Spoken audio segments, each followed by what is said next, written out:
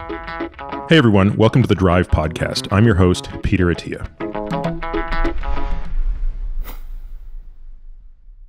Hey Sarah, welcome to the show. I'm super excited to be speaking with you today. Um, this has the potential, to, of course, to be a 10 hour podcast, which it won't be, but I think that speaks to the um, the depth of insight that you've got into so many topics that I actually want to talk about. So, um, Thank you. yeah, in, it's in great to be here.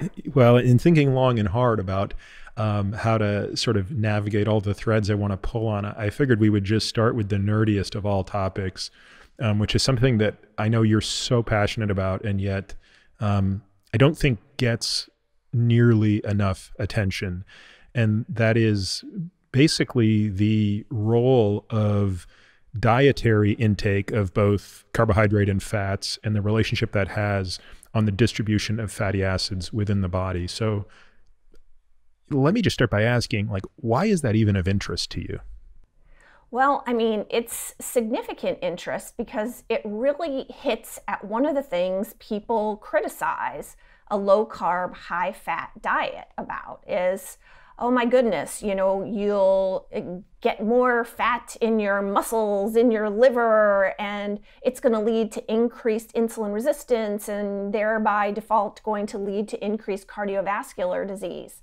And we know that um, a therapeutic carbohydrate restricted diet um, brings down so many um, cardiovascular risk biomarkers that we're all used to hearing about. Okay, it decreases triglycerides, you know, okay, it actually can reverse type 2 diabetes um, in most cases and certainly significantly improve glycemic control um, in all. Um, but fatty acids, that's not something that's talked about all that often. And what is talked about all that often is this idea of you are what you eat, right? We hear that still every day. Remember, you are what you eat. And this example of what happens when you consume saturated fat in the matrix of a diet that includes carbohydrate restriction is so against that long, worn out idea of you are what you eat. And so fatty acids play a critical role. Study after study will show us in cardiovascular risk um, and in future diabetes risk as well. But again, it's, it's not discussed because fatty acids are confusing, let's face it okay?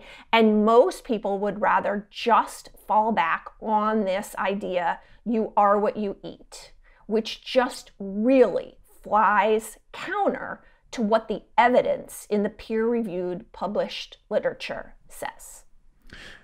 So, maybe taking even a greater step back from that, uh, Sarah, what is it um, that attracted you personally as a physician towards the management of type 2 diabetes? Because I mean, that's how you and I got to know each other was through a company that you, you're a big part of uh, called Virta Health, which I'm sure at some point today we will talk about. Um, but what attracted you to this patient population, and how is it that you stumbled upon the idea that there was uh, perhaps another way to treat patients with type 2 diabetes that was not kind of the standard treatment, which was chasing glycemic control with insulin or insulin increasing uh, drugs? Well, I tell you, it's by accident. Um, if you had told me 20 years ago that I'd be playing this role in the healthcare system, um, I probably wouldn't have believed you. Um, so it goes back again to the fact that for a very long time. I mean, I've been in the world of obesity care for well over 25 years now. And just the first half of that was telling people that the way to fix everything was to eat a low calorie, low fat diet. Um, you know, I grew up as a product of the 80s, like so many people, where that was, you know, that was the dogma. There was no other way. And of course, entering into college and um, grad school where I um, got both my bachelor's and master's in exercise physiology, I mean, that's what we were taught. Moving on to med school, you know, reaffirmed once again. So when I went into practice as a primary care physician, um, I'm board certified in internal medicine, um, it was more the same. But again, it was so frustrating to me, you know, all along the way, really, to be continually giving this advice and then have people show up being worse. You know, I'm not making them healthier, I'm making them or I'm watching them become more unhealthy. And that was depressing. And it was really quickly became just to the point where it was like, I, I, can't continue on with primary care for the rest of my life because I felt like a legal drug dealer. I got really lucky here, okay? Um, I, I like to say a lot of my pivots are pivoted on anger, right? Pivots in my career. And I was really angry at what was happening on the primary care level. Um, and as luck would have it, have it um, at Indiana University Health, they knew about my background, knew about my past work in obesity care, and asked me to start a program, uh, obesity program. And I jumped at the opportunity. And I was lucky to be able to take some time off over the next year, spend time figuring out what, what was this going to look like?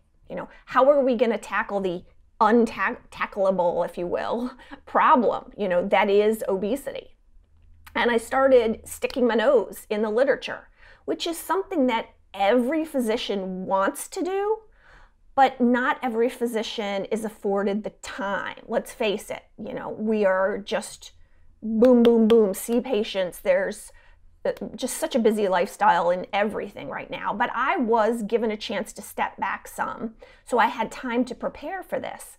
And in that, I discovered carbohydrate restriction as a means to weight loss initially um, listened to some lectures by Dr. Steve Phinney and Jeff Volek.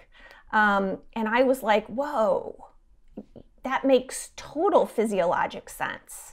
And so, boy, did I dig deeper into this. I read everything I could get my hands on and really came to the conclusion, which required a lot of, you know, cognitive dissonance overcoming, that what I had been saying, you know, for well over a decade to so many people was really not founded on good science.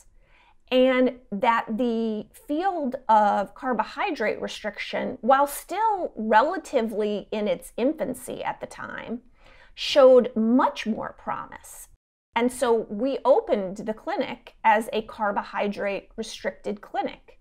But the fact of the matter is, although people were losing weight, what we were so seeing that was so much more meaningful was that people's diabetes was like going away. They were having normal blood sugar. We were pulling them off of insulin at rates that I could never have believed had I not been the physician who was taking care of these patients. I was astronomical. Now, Sarah, just a couple of questions. Hundreds of units of insulin. Uh, sorry, yeah. just to, just to interject. Um, did you first of all? There's two questions. I guess I want to ask you. One, were these patients primarily patients with type 2 diabetes, or was it primarily obesity, of which a subset had diabetes? And secondly, how much resistance did you have in your own institution when you showed up and said, Hey, I know you guys brought me in to do this thing. I'm going to do it. But oh, by the way, my secret sauce is going to be this, at the time, very unconventional approach? Great question. So, as you probably can imagine, when uh, patients come into an obesity clinic, um, most all of them, if not all of them, have some form of metabolic disease. Um, you know, the, the biggest being type 2 diabetes. So we were seeing type 2 diabetes all of the time, consistently, daily. And you're right, I had to take precautions because, again, this was 10 years ago. And not as much about carbohydrate restriction was known at that time, certainly among general practicing physicians in any discipline, really. And so I knew that I had to head off the potential resistance that was going to come. There was just no question of it. So I actually went about and spent an entire summer meeting with all the departments in um, our local med center and giving them a 15 minute slide presentation of when your patient comes back, says that Dr. Hallberg told them to eat a lot of fat and not a lot of carbohydrates, that I wasn't crazy, that this was actually based on evidence. And here it was. And you know, Peter, you'd be surprised. I, I didn't get any pushback. I actually pushed it even to the next level. I was part at that time of the ambulatory quality committee at our institution and I actually brought up a uh, amendment that all patients with metabolic disease should at least be provided the option of trying this if they wanted. And it passed unanimously. I mean, people got it. Once they had time to pause, take a look at the physiology behind this and realize, okay, yeah, that makes a lot of sense. So, in changed my life, right? And again, I, I like to always say my career is built of inflection points of anger. And as we were seeing these huge changes of diabetes and patients just resolving their diabetes, I became really angry because I was like, where is this? Where is this in the guidelines? How come I've never heard of this before? I mean, this is, you know, I mean, I hate to be like over dramatic, but it truly is quite miraculous for a disease that everyone thought was chronic and progressive to see people recover from it um, is quite astounding. And so I decided that I needed to get into research. So, actually, to start off with, I called Purdue University's nutrition pro- program and asked one of the researchers there if they wanted to help me on just an early unfunded pilot study to prove my point, looking at metabolic improvements and looking at financial improvements too, because obviously, if people weren't taking all this medicine, they weren't costing themselves and, of course, the healthcare system as a whole as much money. And so I talked about that study, presented it at the National Lipid Association quite a long time ago, talked about it actually in my TED talk, um, and then was speaking at the Obesity Medicine Association quite a long time ago and actually met Dr. Steve Phinney. Um, and that really changed the course of my life as well. So, all this time, you're sort of putting into practice what Steve and Jeff had been writing about for a long time, and and obviously, uh, Steve is someone I've been you know dying to have on the podcast, and we were actually supposed to do it at, at one point in time, and then scheduling got in the way. Um, but um, I didn't realize that you had already sort of gone down this path and yet hadn't actually met him because I took the opposite approach, which was when I started kind of implementing some of these treatments, you know, I'm just a bull in a china shop. I just reached out to Steve right away. Um, I, I might have been one of the first people to get a copy of the uh, the book that he and Jeff wrote in 2011. I think I got a preprint of that book which I still have, by the, the Art way. And Science. The Art and Science book, which I have. It might have mm-hmm. more highlights and post its in it than any book I own. Uh, because I think, like you, I was kind of going through the this can't be there's something. There's something that's not. Um, there's something so counterintuitive to this that I, I, I need to read this over and over and over again to make sure I, I get it. Um, so it's funny that, that that's the case. Now, tell me, where did you know? Were you at this time going to ADA meetings, the American Diabetes Association meetings, and and and when you would discuss what you were seeing in your practice with your peers who were also on the front lines taking a more traditional approach uh, how was your experience being uh, how was that met well it's interesting if someone if i was speaking with someone who took care of obesity patients for obesity they were totally, I get it. You know, uh, I'm doing the same thing to some varying degree. But when you moved out of that space to other subspecialists, um, the first thing was, oh, yeah, their diabetes will go away, but you're going to kill them with heart disease, right? Or, oh, you know, we all know it works. I'll never forget one of the leaders in the endocrine movement said, look, we all know it works. This is not a secret but nobody can stay with it. And I was like, you know, I don't know. Here in my practice, I have thousands of patients that would beg to differ with that. Um, and so, you know, those are the feedback that I got. And so, one of the things was I knew that there had to be even more research done. I mean, you know, we had wonderful pioneers in, you know, Steve and Jeff and um, some, Eric um, from Duke, Westman. Um, but we needed even more. They needed to be larger trials. They needed to really specifically focus on patients with type 2 diabetes because I was convinced almost from the get go that that is the target population here because that's where we see the biggest improvements.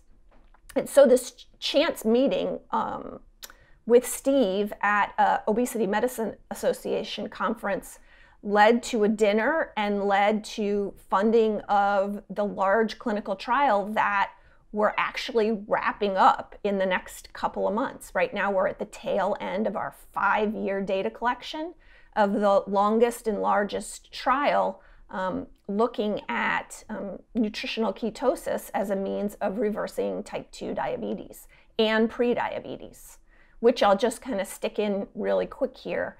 Um, today actually happens to be the day that the prediabetes paper was published. So I'm really proud to say this is the eighth paper already that's come out of this large trial started by a chance encounter um, at a conference, and um, the we haven't published the pre-diabetes results until today. So this was a um, uh, paper that looks at the first two years of pre-diabetes, um, utilizing remote continuous support to help patients adhere to a diet aimed at nutritional ketosis. And Sarah, these are these are patients defined as pre-diabetic by hemoglobin A1C. Correct. And that's um, Correct. in the that's being defined as 5.7 to 6.4. Is that the range? That's correct. Okay. Yes. Tell people what that means. Um, I think most people are aware of what a hemoglobin A1C is, but um, what does that translate to in an average glucose approximately? Yeah, so we really start to get, for example, fasting. That's the one most people are familiar with. And once you get a fasting glucose over 110, you know, that's the worrisome pre-diabetes range. And I, I do have to say here, though, that doesn't mean normal glucoses are okay for everyone. And I think you've had, you know, many people on here talking about the perils of insulin resistance and how it starts to cause significant problems in people who still have normal blood sugars. And I just think that's such an important point and, and can't be overstated again. But in this study, we're looking at people who had insulin resistance long enough that their pancreas and the beta cells could not keep up with the insulin that was needed to keep blood sugar normal, and their blood sugar started to rise. Not yet to the level where a diagnosis of type 2 diabetes could be made, but once again, where we see the impact of insulin resistance affecting the body's ability to keep blood sugar normal due to pancreas being overworked um, for far too long. And and if we believe that, I mean, I don't know what the latest numbers are, but I'm guessing it's still about 10% of the U.S. population has type two diabetes. Is that approximately correct, or is it are we more than 10% now? Approximately, with also the caveat of much more concerning levels in different minority populations, which of course, um, hopefully we'll get a chance to talk about later, is just a huge goal with improving health equity in this country. So, if it's 10% in all comers, do you have a sense of what it is in Hispanic and African American populations? Yeah, it gets even higher. It's well into the teens in those, and Pacific Islanders as well. So these are populations that, you know, we need to be paying attention, of course, to everyone who has type 2 diabetes, but we also need to be paying attention to who's at greater risk.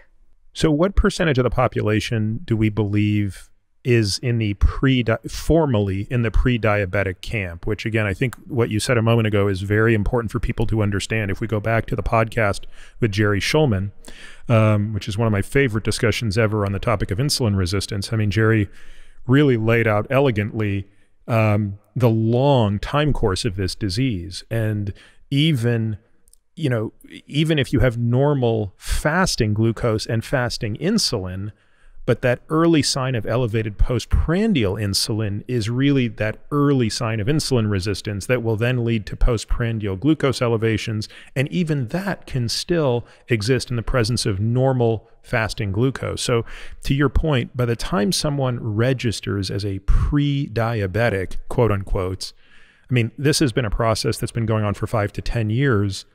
What's, what, what is the what what is our belief about how many or what percentage of Americans, just to make it you know American centric for a moment, what percentage of Americans are in that bucket? Well, I tell you, you know, studies, recent studies will show us that over 50% of Americans, adult Americans, have diabetes or pre-diabetes. And a study released a couple of years ago, and I mean this this should shock everyone to its core, based on NHANES data, that 88% of Americans are not in optimal metabolic health. I mean, let me say that again. 88% of adult Americans are not in optimal metabolic health. And that is by looking at NHANES data and taking a look at the criteria for metabolic syndrome. And so, you know, the 12% are those who didn't meet any of the criteria for metabolic syndrome. Okay. I mean, that's frightening. Yeah, so I was going to I was going to ask you and if that's exactly what it meant. So, just let's state for the for the listener what metabolic syndrome is. We've certainly discussed it on this podcast, but it would be great to remind people what are those 12% doing? They have none of the following five, right? They have normal blood pressure, though they do not have elevated blood pressure. And again, um, and they're not on medication. And they're not taking medication to lower blood pressure. And normal is now being much more stringently defined. But I believe the latest CDC definition of normal is less than 130 over 80. Um, in our practice, we advocate less than 120 over 80. They have normal fasting glucose, and that's defined as less than 100. Um, they have normal triglycerides, which are being defined as less than 150. We argue in our practice that's very high, and anything over 100 is elevated. Totally agree. They have normal HDL cholesterol, which for men is defined as greater than 40 milligrams per deciliter, for women, greater than 50 milligrams per deciliter and they do not have truncal obesity. And I forget, I think for men that's defined as 40 inches of waist circumference and women 36. I don't know if that's if that's still the latest. Well, yeah, and I will also point out one really important thing here when it comes to waist circumference too um, and the definition of metabolic syndrome. And it a little bit goes back to what I was saying before about the consideration of minorities and different ethnic populations, which is we have to take the um, uh, that into account even when we're defining metabolic syndrome because for Southeast Asians, they are defined as having metabolic syndrome at a much lower waist circumference. And for African Americans, we need to really consider as well because they tend, even in the face of having um, insulin resistance, they tend to have normal triglycerides and HDL. And so, again, you know, we can't be treating everybody the same, but we often do. Yeah, I'm glad you pointed that out. I, I, I still remember it was about 10 years ago when I learned that lesson, which was, you know, taking care of an African American patient who had about the most uncontrolled diabetes I'd ever seen. You know, hemoglobin A1C of 14%. This is a person who's basically going to have their limbs amputated in the next hour. Triglycerides of 89. Just Oh yeah. Yeah, just totally normal. Mm-hmm. You look at their lipid panel, you wouldn't think anything is wrong. Right. And so that, that's the thing is they can get missed. Yeah.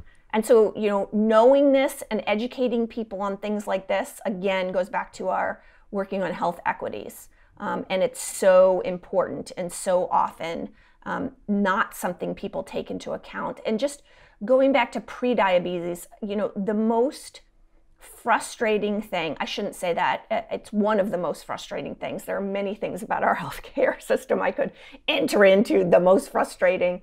Um, but one of them is patients coming in uh, to see me whose lab showed prediabetes.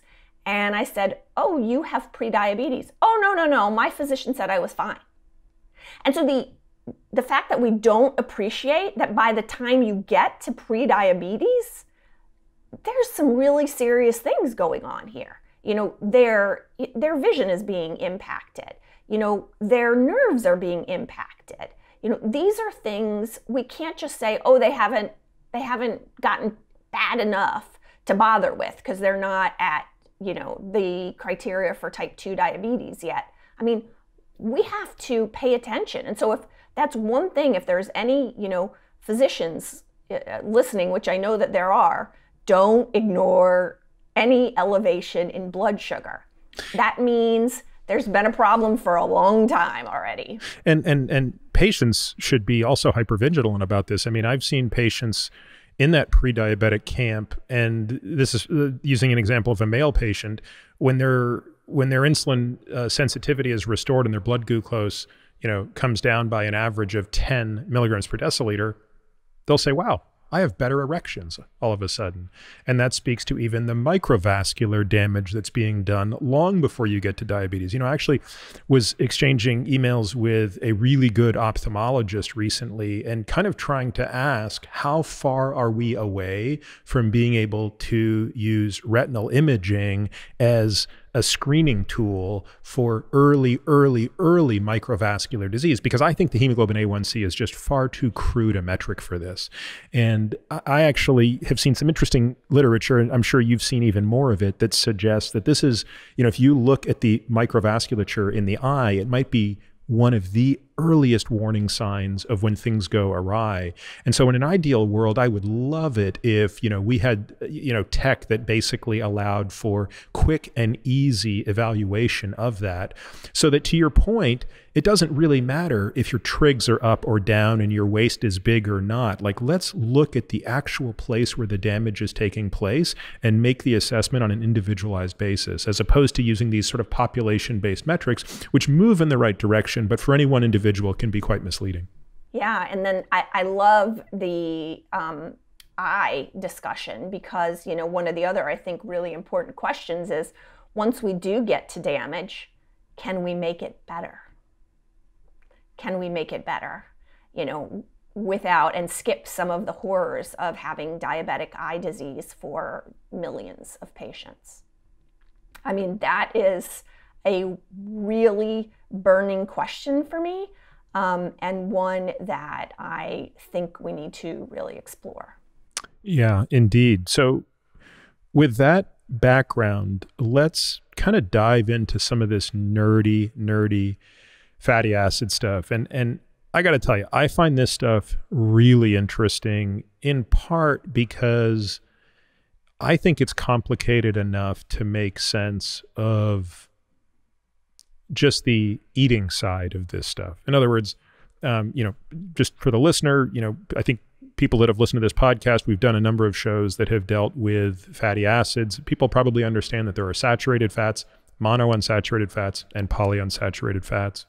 Um, the saturated fats have no double bonds, so that means every carbon is fully saturated with hydrogen.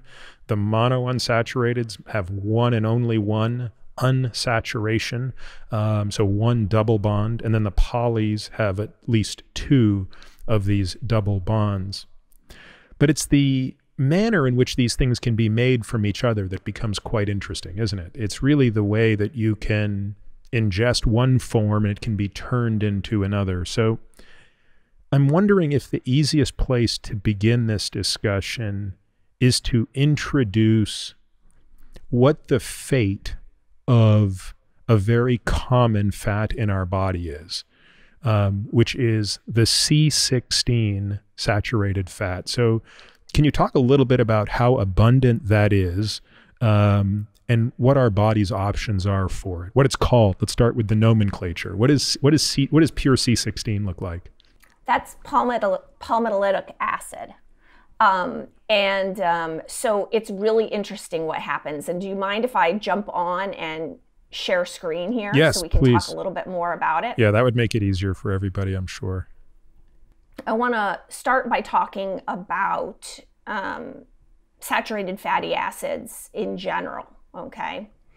And what we know is that going back here to the basics and looking at the liver, when we have incorporation of saturated fatty acids into our triglycerides, okay, that is correlated with insulin resistance and adiposity, okay, likely reflecting accelerated hepatic de novo lipogenesis, okay, or also it can be what is actually returned to the liver. So, really, two. Um, we certainly know that hepatic de novo lipogenesis is a, a big part of the problem um, when it comes to elevated triglycerides, but we can also make these with some uh, what is delivered exactly back to the liver.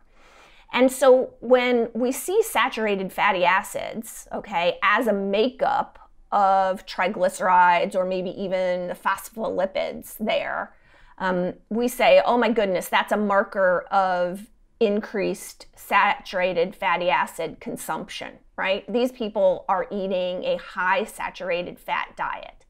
And that seems to make sense. And this is the problem with a lot of things in science in general, um, but and nutrition science is no different, is that just because it seems to make sense doesn't mean it's the way things actually work. Okay. Sarah, can I so, can I explain a technical point on this slide that you and I will take for granted, sure. but I want to make sure that a listener understands. Absolutely. Please do. So when when a patient goes and gets their blood drawn, let's just say they get a standard lipid panel, it will spit out the following values. Total cholesterol equals 200 milligrams per deciliter. LDL cholesterol equals you know 140 milligrams per deciliter. Triglycerides equal 150 milligrams per deciliter.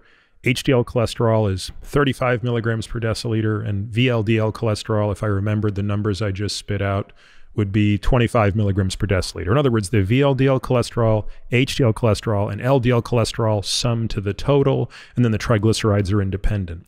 What I want to make sure people understand is those are all found within the lipoproteins. So VLDL cholesterol is the amount of cholesterol ester contained within the very low density lipoprotein.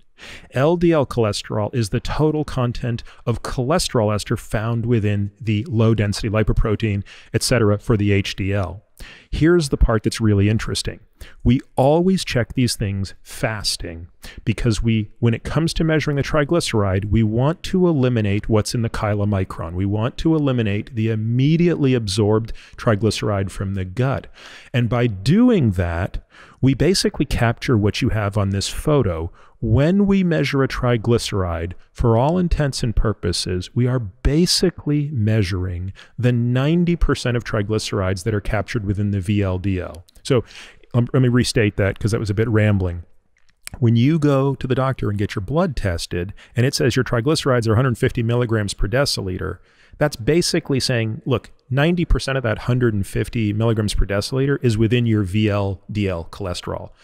I there's some of that is in intermediate density lipoprotein, but that's virtually non-existent. There's a trace of that in the LDL cholesterol, and even a smaller trace uh, in the HDL. Um, but it's the lion's share is in the VLDL cholesterol. And as you're going to explain to us, this process of de novo lipogenesis, the conduit from fat being made in the liver and exported, that conduit is the VLDL particle. That's that's going to become very important in this discussion. Absolutely, absolutely. Um, yeah, and that's really important. Thank you for the the precursor explanation because it is real. This is technical stuff, and that is really important um, for people to understand. And so, you know, then the next question really becomes, okay, so if we have a high saturated fatty acid content within the VLDL, okay, um, again, it's being in the triglycerides, the phospholipid membrane, um, we wherever we find it. Where did the saturated fatty acids come from? Um, is it directly from consumption? And I just want to first point out before we get into maybe more of the technical stuff, some of the clinical trials that can help us understand this a little bit better. And so this is one of my favorites um, by Dr. Brittanie Volk. Um, that was published a while ago, and it's really great because this was a feeding study. So, you know, they kept track of what the patients were eating. It wasn't a free for all. Are they eating what they're we're telling them to eat or not? They provided all of their food. And this was patients with metabolic syndrome. They went through six feeding phases. And so they did a run in with a very low carbohydrate diet for everyone, less than 50 grams of carbohydrates a day. And every three weeks, they increased the carbohydrates in the diet all the way up to uh, a 346 grams, which was C6 feeding phase. And the other thing to note here is the saturated fat content. So when we were at the low carbohydrate end here in C1, they were consuming 84 grams of saturated fatty acids a day. Okay, so that blows away any um, guideline on saturated fat. I mean, so far above what anyone would consider um, at goal. And then we get down to the C6 and we're much less, 32 grams. Um, again, uh, what happens to the fatty acids as people are run through these six phases. And, and Sarah, just to be clear, this is basically an isocaloric feeding study, which means as you're ratcheting up the content of carbohydrate, you're commensurately reducing at a caloric level the amount of saturated fat, right? I believe this study did not change the number of calories they were consuming, or did it? Correct. They did okay. not. Okay. And so, what happened um, to the um, saturated fatty acid levels in the blood, and for that matter, other, other fatty acid levels in the blood? So, what happened over these six phases? Okay. So, here we have saturated fatty acid levels marked. Okay. So, here's the baseline at that run in. Okay. And we see when we have the very high saturated fat level, very low carbohydrate. Okay, here we go. And what's really interesting is what happens as we march along here down to C6. And if you remember, this is much lower saturated fatty acid content of the diet, okay? Um, much higher carbohydrate intake. What we see is that it's actually the saturated fatty acid content is actually higher with the lower saturated fat intake. And we're going to come back and talk to about the science behind that. But I think it's really important for people to see this clinically. And then maybe when we get into a little bit more of the nitty gritty, um, it can make more sense. Okay. I mean, it's it's actually statistically insignificant in terms of Correct. C16, right, which is the dominant saturated fatty acid. So so palmitic acid it trended towards an increase as saturated fat, dietary saturated fat went down, um, and sat- and carbohydrate went up, but it didn't reach significance. And um, the only one that actually did significantly increase was C14, right? Yeah, actually, um, C sixteen one as well. And that one is we're going to spend oh, oh yes, but, but, but, but, but yeah, yeah, yeah. No, okay. but as a saturated fat, it was really just. Oh, as a saturated yeah, yeah, fat, yeah, yes. Yeah. So. But the point of this is we didn't have these really high levels of serum saturated fatty acids when we were consuming, when these participants were consuming this right. very high saturated fat diet. Yeah. I mean, essentially, and this is important, it stays the same. Yeah. If anything, there's a trend, okay, to higher serum saturated fat in the low fat arm, okay? But certainly we do not see a rise in the high intake of saturated fat. That's super important. And again, it goes against what I was saying earlier on. You know, you are what you eat. Well, okay, if that's true, then when I consume a very high level of saturated fatty acids, why am I not seeing that again in the blood, in the serum. Why are we not seeing that? And and what's nice in this study is you've exhaustively looked at where the fatty acids are. So obviously the most efficient place we store fatty acids is in the triglyceride.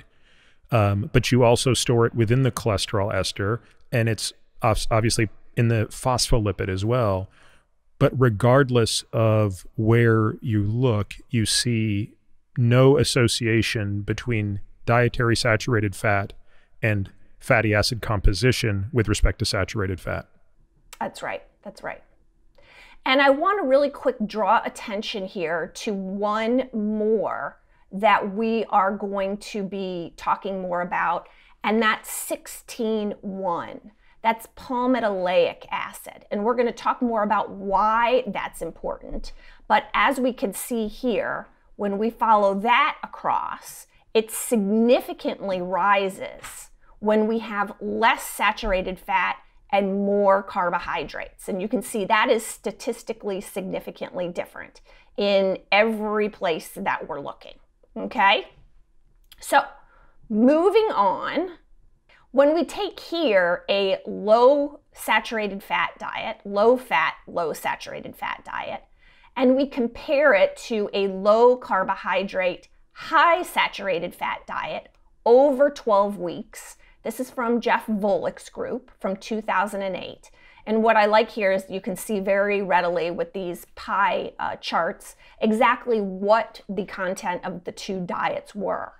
So again, we really have it flipped. You know, high carbohydrate, low carbohydrate, low fat here on the left to a very high intake of fat on the right and again below it, the two different levels of saturated fat that we're comparing 12 grams to three times as high in the low carb diet at 36. So then, Sarah, these are both the- these are both really low calorie studies. Was this an ad lib feeding study, or were these deliberately calorie restricted? Uh, how how was this study done? Yeah, these were both, that wanted the calorie intake of the two studies to be the same. So as you can see, they're about 1,500 calories apiece. And were they deliberately calorie restricted? Yes. Okay. So what we can see here is that what we have when we take a look at these two arms is taking a look on the right to the change in serum saturated fatty acids. We can see in the carb restricted diet, you know, significant decrease um, versus the low fat diet. So, again, in the much higher saturated fatty acid arm, we see a significant decrease down, okay? Whereas we do see a drop in the whoop, saturated fatty, uh, low saturated fatty acid intake group, but not nearly as much as we see with the carbohydrate restricted group. Once again, you know, arguing against you are what you eat.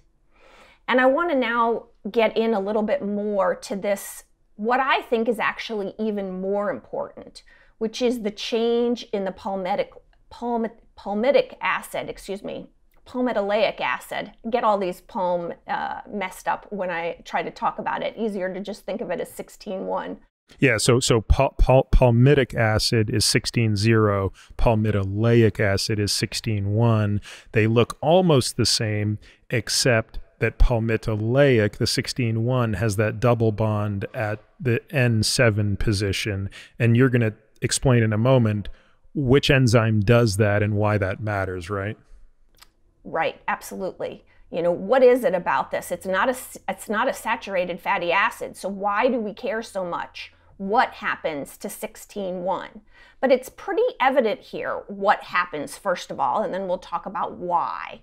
What happens is that with 16.1 in the high saturated fatty acid group, it drops significantly. Where in the low fat group, again, low saturated fatty acid group, it actually goes up. And this is a statistically significant difference okay? Much more significant, even as we look, than the change in the serum fatty acids, all right? So now I'm gonna pull up a graph of these results to look at it a little better, and then I want to get into the actual science of it. This is the very low carbohydrate arm on the left, and it is the low fat arm on the right. And so, what we see here, when we look at total saturated fatty acids, um, is that it has dropped, okay, 5% between the um, low carbohydrate group and the low fat group, total saturated fatty acids. What about the 16-1? And what we see here with the 16-1 in much more significant statistically is that we see between a, um, a low carbohydrate diet and a low fat diet that we have a more significant decrease in the 16-1 with the low carbohydrate, higher fat diet. Now, so there's a couple things going on here. comments for there? Yeah, yeah. Mm-hmm. I think there's a mm-hmm. couple things going on for people that are going to be overwhelmed by this table. And I apologize if you're just listening to this without watching it on video. Uh, I'll do my best to, to to to explain what's going on here. So, the the first thing to notice here is both of these uh, groups of patients started out with quite elevated triglycerides. So. Um, there uh, in the first group, in the group that was randomized to the very low carbohydrate diet, their average triglyceride at the start of this study was 211 milligrams per deciliter. That's sky high. At the end of 12 weeks, it was down to about 104 milligrams per deciliter. It fell by about 50 percent. Conversely, the group that started out in the low fat arm, also very high triglycerides to start, 187 milligrams per deciliter. By the end of 12 weeks, they saw about a 20% reduction to about 150 milligrams per deciliter. Now, this is where these tables get a little bit confusing because the table is showing both the relative and absolute reduction of the relative or constitutive fatty acid, in this case, 16.0 and 16.1 N7, the two we're talking about. What does that mean in English? It means that when you look at the total amount of saturated fat reduction on a relative basis, both groups saw a slight reduction, but it was statistically more significant in one group than the other. The low carb group was a 12% reduction versus 5% in the low fat group. And on an absolute basis, that difference was even greater because the low carb group had such a significant reduction in total triglyceride uh, as well. And that's the dominant source of where you're going to see these fatty acids. And of course, the reverse is true uh, when it comes to 16.1. So let's now ask the question, Sarah what is it about palmitoleic acid that you think is such an important biomarker? Because we wouldn't be having this discussion if you didn't think we should be paying attention to this. Yeah, I think it's a really important biomarker. And if, if you if you would um, allow me, let me point out one other thing here regarding the triglycerides, because clearly the low carbohydrate arm decreased more in the triglycerides. Okay, um, the low fat arm decreased too, which may come as a surprise to your listeners because we do associate low fat with an increase in triglycerides. Um, but I do want to remind everyone that this was a calorie restricted, this was around 1500 calories. So that drop in the low fat diet arm, although maybe not what we were expected, does make sense with the reduction in calories overall. Now, let's go back and talk more about your question. Okay. I think palmitoleic acid, or again, that's that 16-1, um, is really not appreciated um, as the health predictor that it really is. Okay, so let's go through. I'm going to just jump ahead a little bit here. So, palmitoleic, or we like to call it POA, is a product of something called stearoyl CoA desaturase. Um, and stearoyl CoA desaturase is going to um, determine um, what is going to happen with some of the fatty acids in our system, specifically what's going to happen to POA.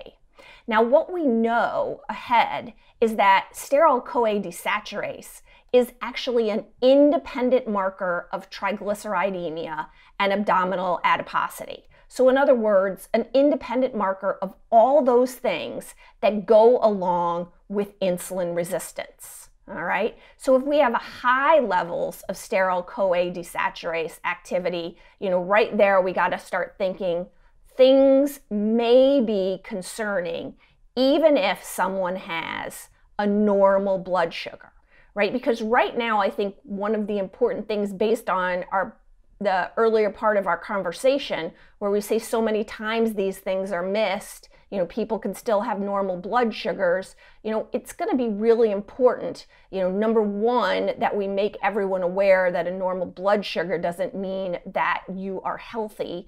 But number two what are some easy ways and some easy markers maybe that we can check to know that we're headed for trouble even before we have blood sugar go up okay? So plasma um, uh, triglycerides. And let's take a look at, um, again, POA in those plasma triglycerides in the way of looking at it in quartiles, okay? So again, low versus high. And what we can see is the POA, all right, the byproduct, okay, of stearoyl CoA desaturase is much higher the higher the triglycerides are. Okay? Very important. So if your triglycerides are really high, again, what's happening very likely is that your POA is elevated as well. Okay, brought about by increased activity of stearoyl CoA desaturase. And this shouldn't be surprising, right? Because no. if you look at the very, you know, unfriendly diagrams of fatty acid metabolism, um, one of the first steps we see in the conversion of or elongation of fatty acids is the conversion of C16-0 palmitic acid into C uh, 16-1 palmitoleic acid N7 through an enzyme that has two names, I guess, depending on the name nomenclature, right? So delta 9 desaturase, desaturate the number 9 carbon from the delta end, also known as stearoyl CoA uh, uh, saturase, uh, desaturase, which I think is the more popular name is, is SCD1, right? Right. And if you and if you go down that pathway, what you're basically doing is bundling and packaging fat to leave the liver, right? Yes and and and here is one of the that is an interesting point because the question is if we're trying to change the serum saturated fats into something else okay? I mean the body is obviously doing that.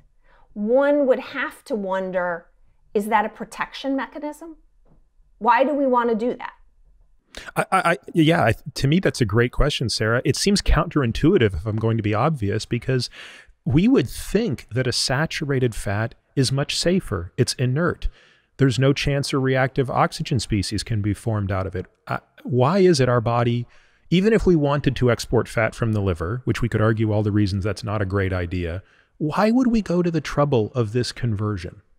All right, well, let's go through it really quick and then get to answering that question because I think it's really important and really sheds light on why we need to be paying more attention to the all important POA and, of course, the um, precursors and, and um, enzymes that uh, act in its creation.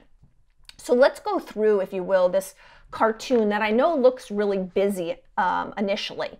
Um, but let me just kind of run through it, starting here um, in the intestine. And remember, you know, we'll start off by saying our focus in healthcare um, and in nutrition recommendations for so long has been low fat, low fat, more carbohydrates, higher carbohydrates. Well, let's take a look in the intestine at those carbohydrates, changing the focus for a minute. So they come in rapidly absorbed carbohydrates or even our slowly absorbed carbohydrates, our starches, okay? Um, and what happens when they come in, right? As glucose, um, that feeds in again through GLUT2 into the pancreas, pushing out more insulin. Insulin then feeds into the liver. And what we get here, okay, is going through it. A uh, big, big part of this is SREBP1. Okay, and I don't know if we need to get that technical, but will lead here to that enzyme we were talking about, the SCD1 um, uh, or stearoyl CoA desaturase, increasing. Okay, very important. And it comes about through other means as well fructose coming in through GLUT5 or glucose coming directly into the liver through GLUT2. They're all feeding into this by slightly di- different mechanisms to increase this SCD1. Now we're going to look more at the process um, in a different way. So we have increased hepatic, first of all, saturated fat. Okay, here's our 16 0, the saturated fat. All right, uh, increase hepatic levels of this. What gets turned on, as from the past cartoon, we get that SCD1 activity increasing that leads to this increase in POA. All right, coming down here, what's the end game here? Increased VLDL. All right, same thing over here, looking at it different. Um, we see again SCD1, if it's blocked, we won't see that. All right, we'll see a decrease in VLDL. And this again has to do if this SCD enzyme is blocked, we're going to have an increase in the saturate, a decrease in our POA. Okay? But again, what we have when we're consuming the high carbohydrates, even if they're the, again, more refined carbohydrates or the less rapidly absorbed carbohydrates, this is the path that we wind up going on. 16.1 is or 16.0 saturated fat is elevated and it turns on this cascade leading to increase in VLDL. I'll pause there before we go on if you had any comments that you wanted to add here. Yeah, again, I think uh, you know for for folks that are watching this it's going to make a bit more sense and if you're not, I just want to make sure we're we're bringing you along for the ride. So you know, in the liver when you are taking C16 or C18, but let's just keep the discussion simple and start with a saturated C16. It's it's the first committed step is going through SCD1 as an enzyme and it adds that double bond. It makes a few more steps along the way, but ultimately it is increasing a process of lipogenesis. It is making more lipid. It is increasing the amount of lipid within the cholesterol ester and the triglyceride. It is being exported from the liver. So in response to your question, Sarah, is this protective? I guess the answer looks like the body is saying, well, gosh, I would rather get this fat out of the liver than keep it in the liver. And we know that it's not fully successful in doing that because, of course, although it hasn't come up yet on this discussion, everything we've talked about today runs hand in hand with non alcoholic fatty liver disease, which is truly an epidemic at the moment. Um, but I suspect that the body is still doing its best, even in the case of non alcoholic fatty liver disease, to try to export this fat as much as possible. The triglyceride is a very efficient place to store it. Um, I've always believed obesity is a protective mechanism. I think that obesity is not the cause of metabolic illness, but the result of it, um, which is not to say that the inflammatory environment that comes with it doesn't pour more gasoline on that fire But I, you know, it is my belief um, that everything we're talking about here is the body's aim to protect itself from an abundance of nutrition. Um, and so that's how I read this: is the body is doing, and specifically the liver, which is I, arguably the most important organ in this situation. The liver is really trying to protect us, and it's saying, "I'm making so much extra fat right now." Because you as my individual are so far above your carbohydrate consumption tolerance your, your tolerance for carbohydrate consumption. Um, and this is the most efficient thing i can do which is turn that into fat send it out via the vldl get that into the adipose site and yeah you're going to be a little bit fatter and it's going to come with some downstream problems but in the short term it's protecting me the liver. Do you would you agree with my teleologic view of that I 100% would agree with it. And again, you know, it, it's, I, I think that we're going to have more and more details on this coming out very very soon in many research product projects that are currently ongoing. But what it really comes down to is, you know, we want to know what an individual's carbohydrate tolerance is. Okay.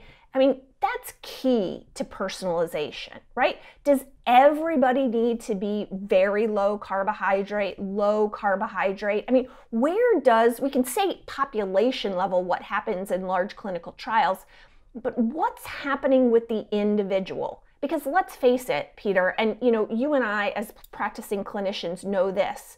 When you're sitting with one patient in front of you, you can go over group data from a clinical trial and that's important part of the decision making, but the only thing that really matters is what's going to happen with the patient right in front of you. We really want to know what the individualized reaction is going to be. You know, we know that this happens with a carbohydrate consumption above a certain threshold. But what that certain threshold is in the individual, we don't know. And based on these pathways, you know, what is the marker we want to be looking at?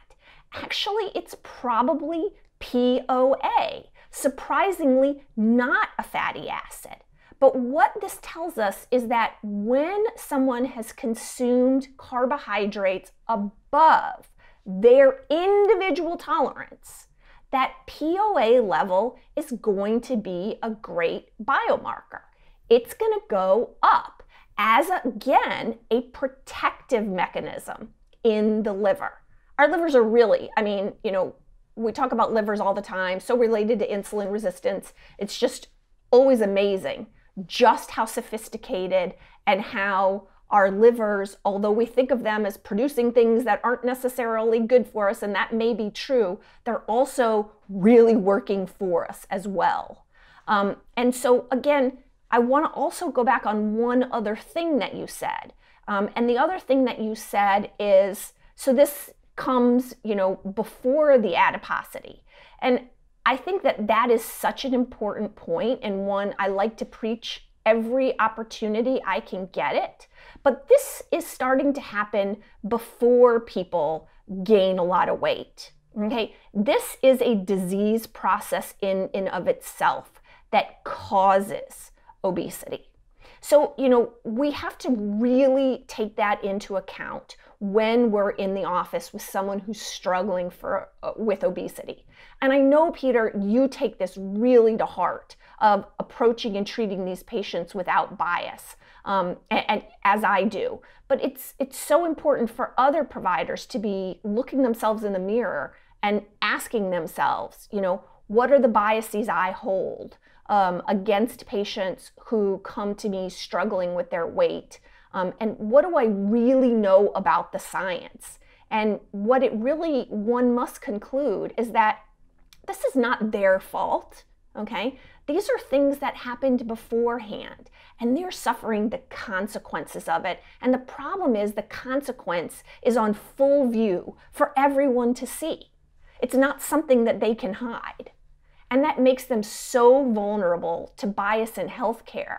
And again, one of the other things I come back to is part of our whole battle in health equity. So, Sarah, I want to keep digging into this idea because it's so interesting to me of having a leading indicator for you know this early early early warning sign you know i mean i we talked about it at the outset of this discussion which is you know, in some ways, the tragedy of using hemoglobin A1C as the marker of when somebody gets on the radar. I mean, you said it yourself patients will show up and nobody's ringing the bell until their hemoglobin A1C is above 6.5. But I mean, that literally is happening 10, 15, maybe 20 years after there were early, early molecular warning signs. And if measuring palmitoleic acid is one of them, uh, that's exactly the kind of stuff that I find interesting because in our practice, we use CGM a lot. So continuous glucose monitoring is kind of, you know, we don't, you know, non diabetics are wearing CGM like it's no tomorrow in our practice because of that exact reason. We're basically holding them to a very high standard of average glucose and high excursions and all these sorts of things. I want to go back to something that you alluded to, which is the association between palmitoleic, palmitoleic acid and triglyceride is so tight that would we miss, for example, African American patients? Do we know if they're failing to synthesize C, C16-1 in the way a white patient is? Wouldn't we love to know that? There's not been a good trial looking at that. I mean, one of the problems that we have in research in general is that we tend to focus on white people, right? Um, you know, and actually worse middle or upper middle class white people. Um, so there are a lot of questions with this um, in specific populations. Um, there have been a couple of studies recently coming out looking specifically at what we're talking about, POA, um, uh, and its marker for future problems and predictor of future diabetes and other issues. Um, one was a study recently published called the PANIC study, looking at levels in childhood and seeing how they translate to health consequences, you know, decades down the road. And then there was another study, I believe it was from the Netherlands, um, where they looked at POA levels at 50 to correlate them with C reactive protein levels at age 70, right? And what we see is what we would expect based on our, our discussion here, which is the POA was a predictor of problems down the road in people who were healthy when their POA was elevated or healthy, so we thought.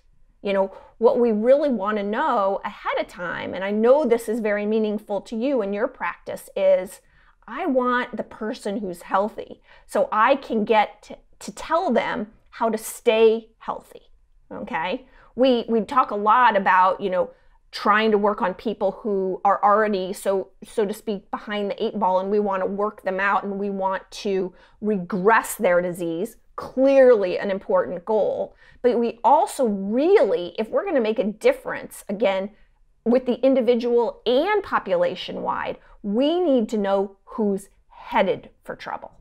Well, I mean, this is again. I, I I hope there's an ongoing effort here because I think this is the future of medicine, right? I mean, I think the future of medicine has to be coming up with tools that allow us to take broad sweeping you know population based insights and very quickly uh, target individuals.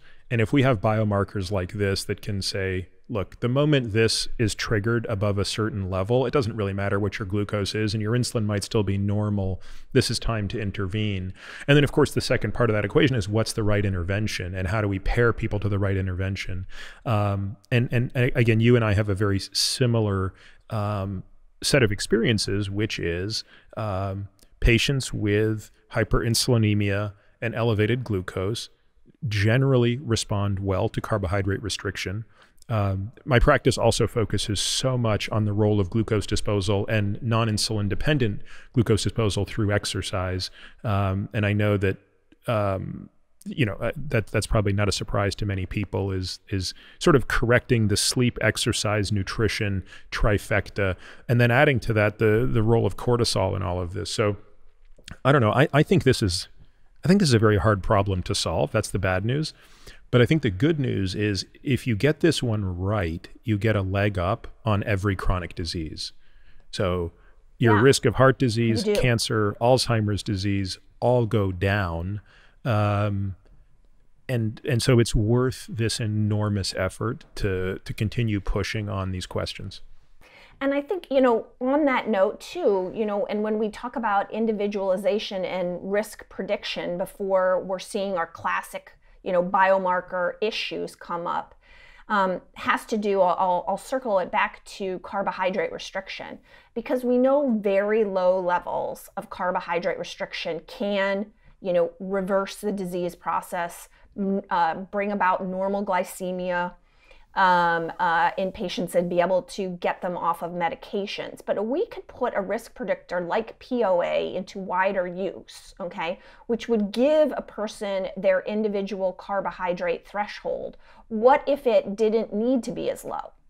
What if we caught them earlier in the disease process and we're like, hey, buddy, you go over, you know, 175, you know, that's where trouble comes in rather than, you know, you need to stay very low um, you know, uh, indefinitely because we've caught you on the spectrum of the disease, you know, so late. And this is what we really need to do to control this, to keep your glucose normal without the use of these many medications, especially insulin.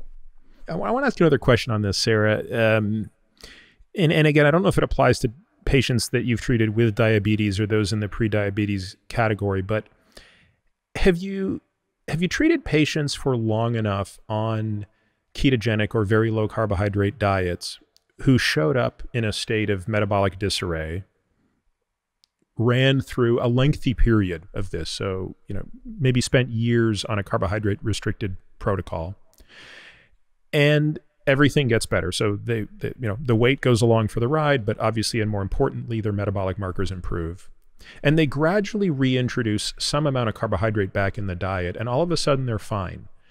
Almost as though you reset them during a long enough period. Uh, how often do you see that, and what do you think is the best explanation for that? See it all the time. And the best explanation for it is what is their insulin reserve? What is their insulin reserve?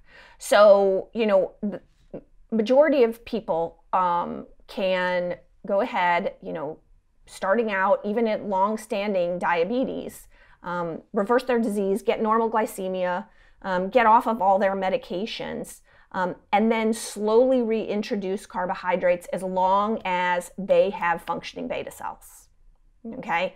The problem is, you know, the longer you've had diabetes clearly is a risk factor for this. And we can, you know, we see evidence of that in the bariatric surgery literature as well. I mean, there's been so many studies looking at um, uh, beta cells.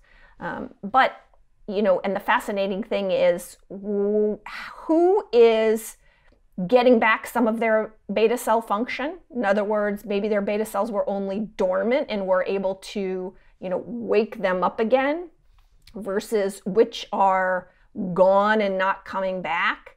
I mean, the fact that people were on the incredibly high dose of insulin, okay, starting on a very low carbohydrate diet. And then they got better right away. Okay, a lot of the change is swift, but they couldn't get off insulin. And it was just years went by, right? And they're just staying on this much lower level of insulin.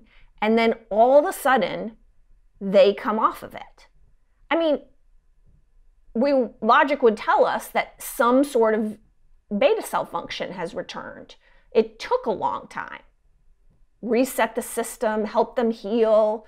You know, I mean, we don't completely understand this. There's so many great scientists looking at this right now, but we still don't have a certain answer, you know, because the answers on the personalized level is how many of mine are dormant? How many of mine are dead? Right? Yeah. What's it going to take for me to wake these up? You know, if it's impossible, I'd like to know that because that sets expectations ahead of time, right? You can get a lot right. better, but there's always going to be a little insulin in your life. Um, it doesn't mean if they um, are someone who doesn't have any um, insulin uh, production capacity that they can't get a lot healthier, but they may not ever be able to get off of insulin. And so that's where it gets down once again into that nitty gritty personalization aspect. And wouldn't that be nice to know? But I think that the answer to the larger question is, you know, why is this happening that some people can start to eat carbohydrates uh, not anywhere near to where they were, but they're able to put some back into their diets versus people who can't is um, beta cell function.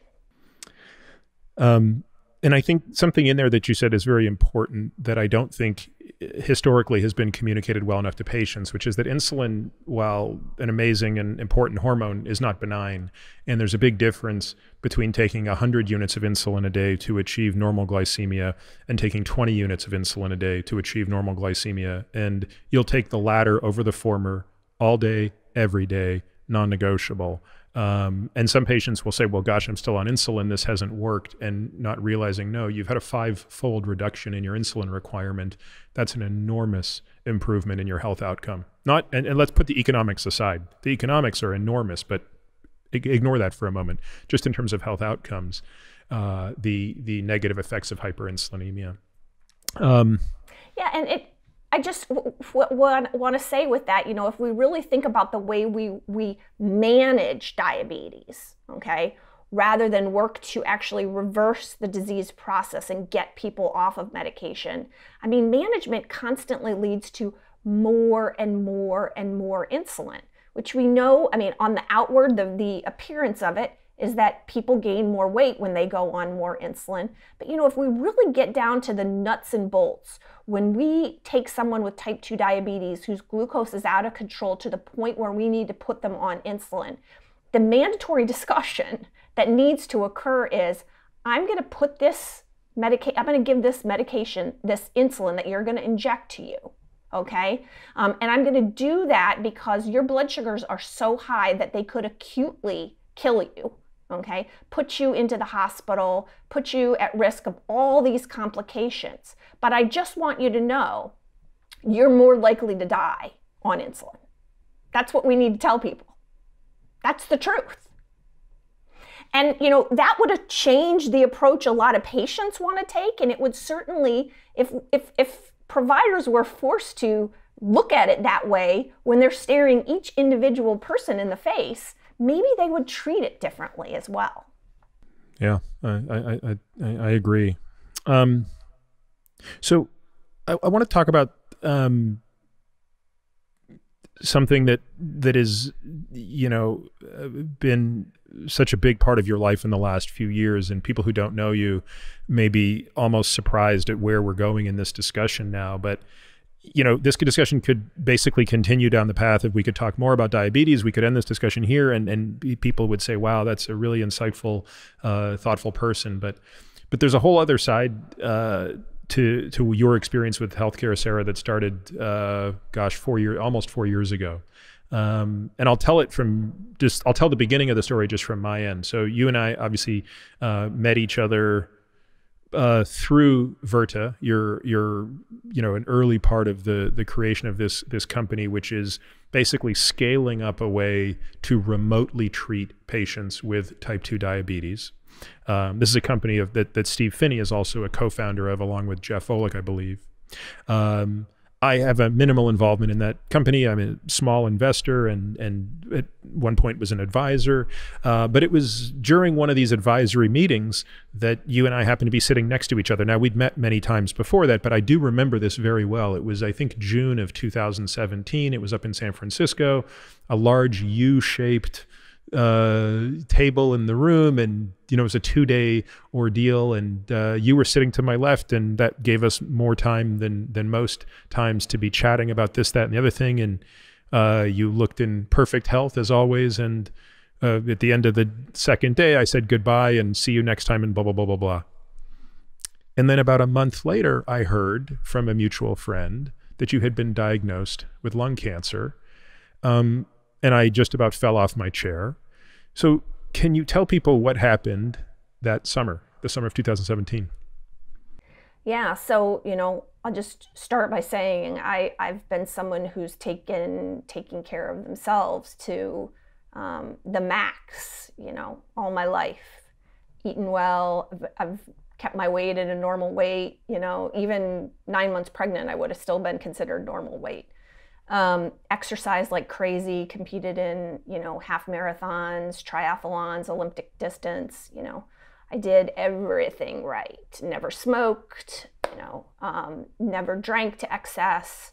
Um, and you know, it was it was June 30th, so right after that, it was June 30th of 2017. I was having a normal day. I was went to exercise. I had a big IRB meeting in the morning. Went home um, due to my wonderfully full house of three kids and uh, took a, a, business call in the basement because that's was that's always my escape place, you know, um, where it can be a little less noisy. And all of a sudden, I couldn't talk, and I I couldn't figure out what was going on. I knew something wasn't right, but um, I I couldn't speak, and um, all I know is that I hung up the phone at some point because I was embarrassed. I was remember thinking there he's gonna think I'm drunk.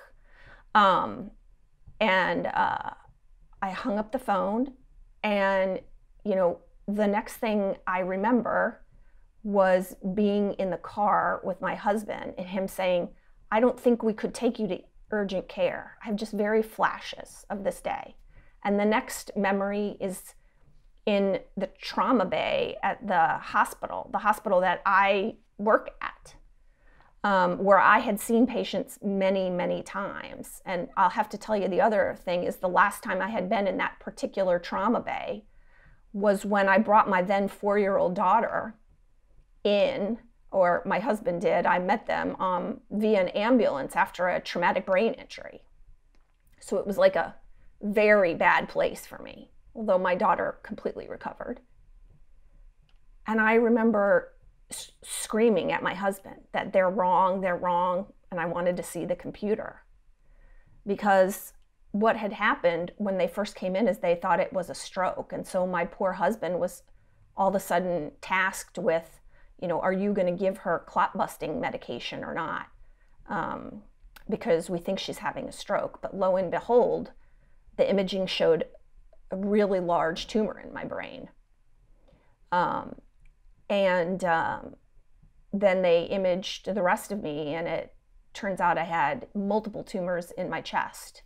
Um, and so, you know, they presumed, you know, correctly at that point that this was lung cancer, but I also needed emergency brain surgery. And this is all, you know, I, I, I remember most of this by people telling me about it. So, um, anyway, the next day I did, um, had emergent brain surgery. And then, you know, I, being a physician and lung cancer, you know, I was like, that can't possibly be. You know, I have never smoked. You know, how do I have lung cancer? I am the healthiest person I know. I remember being in the hospital because, of course, you know, you're on drugs and everything else and, and, and shock and everything. And I kept saying, Look at my nails. These are the healthiest nails you've ever seen. How can this be a person who's sick? Because somehow that was like just one example, you know, of how that's impossible. Talk about the stages of grief and denial, right? And um, being a physician and knowing what lung cancer meant, the next thing that came out of my mouth is I want to move to Oregon because I was like, I know what this means for me, and I know what this means for my family, and I, I don't want to play any part in this. I don't want them suffering. Can you tell folks what you mean by that? Not everybody might understand the implication of what you're saying. Yeah. I wanted to go to Oregon because they had physician assisted suicide. Because I, you know, I knew I have treated so many patients with lung cancer. I knew the horrible end. I knew what this meant. You know, um, especially when it's spread. Yeah, and it had spread everywhere. I mean, I had stage four lung cancer. You know, the day before I had been fine, 100% fine. That morning I had exercised vigorously. And suddenly I'm in the hospital recovering from a brain surgery, being told that I have a rapidly fatal disease. And you know, all you can think of in that moment of panic is your family, right? And so, you know, my only thought was, I, I don't want to watch I don't want them to watch me go. I want them to remember mom. And so, I mean, there began my so far almost four year journey of a new me. You know, I, cancer changes you. So I'm not that person, you know, and, and one of the many things is sometimes at this point in time, you know, I mourn that person. I mean, one of the things that I think is very shocking for people to understand is that probably between 12 to 14 percent of people who get lung cancer are not smokers. Um, and they all tend to get a certain type of lung cancer. You know, lung cancer is broadly divided histologically by small cell and large cell, or non small cell, I'm sorry. And within the non small cell, there's large cell adenocarcinoma, squamous cell. And most of the people like you who are not smokers get this type of adenocarcinoma, non small cell. And it is really shocking to think that given the prevalence of lung cancer and the lethality of lung cancer, lung cancer kills more people than any other cancer. Uh, and I believe that's true for male and female still. Um, to think yes, that, I mean, by far. Yeah, to think that such a high percentage, 12 to 14 percent, could be non smokers uh, tells us this the severity of this. Um, I also think it's worth reiterating something you've said, which is sort of the miracle of the fact that we're sitting here having this discussion four years later. The uh, median survival, meaning if you took, you know, 100 people um, with stage four, which means a type of cancer that has spread from its original site of origin, and in your case, it went to your brain, which is a particularly devastating place for this cancer to grow. The median survival of people with stage four lung cancer is probably 12 months or less, correct? Well, it depends on what kind of lung cancer that you have. But yeah, I mean, um, and sometimes even eight months or less. Um, and um, those were the stats that I knew when I was first diagnosed. And, you know, one of the things that I'll say is non smoking lung cancer is growing at scary rates. It's being diagnosed and it hits people in their prime. It's growing rapidly, especially in young women. So it's hitting a lot of moms. Um, much more common in women than it is in men, although it does happen in men. Happens in Caucasian and Asian women predominantly. And the interesting thing is, most of the people that it impacts are thin and in shape or athletes. Do we have any insight into why? No, and and it's one of the things that's not being investigated as much. You know, when you look at okay, you know what, studies have been out there. Oh, we get the typical. You know, it's radon. It's you know, um, uh, uh, you know, being next to a smoker. I never was. Okay, my father was a smoker. He quit smoking the day I was born and never went back. I was not raised around smoke. Um, so, you know, you the fact of who it's impacting and, and the fact that the the demographics of the people that it's impacting are the healthy people. You know, unlike what we associate with you know, our epidemic of insulin resistance. That's not who these people are. We know that insulin resistance is responsible for a huge number of cancers and, and, and cancer rises. That's not this. You know, and so, you know, it's it's young women um, and uh, again who have presumably done everything right. Um, and, and it's just it's something that is not getting enough press. I know the guardian did a big story about it about a year ago.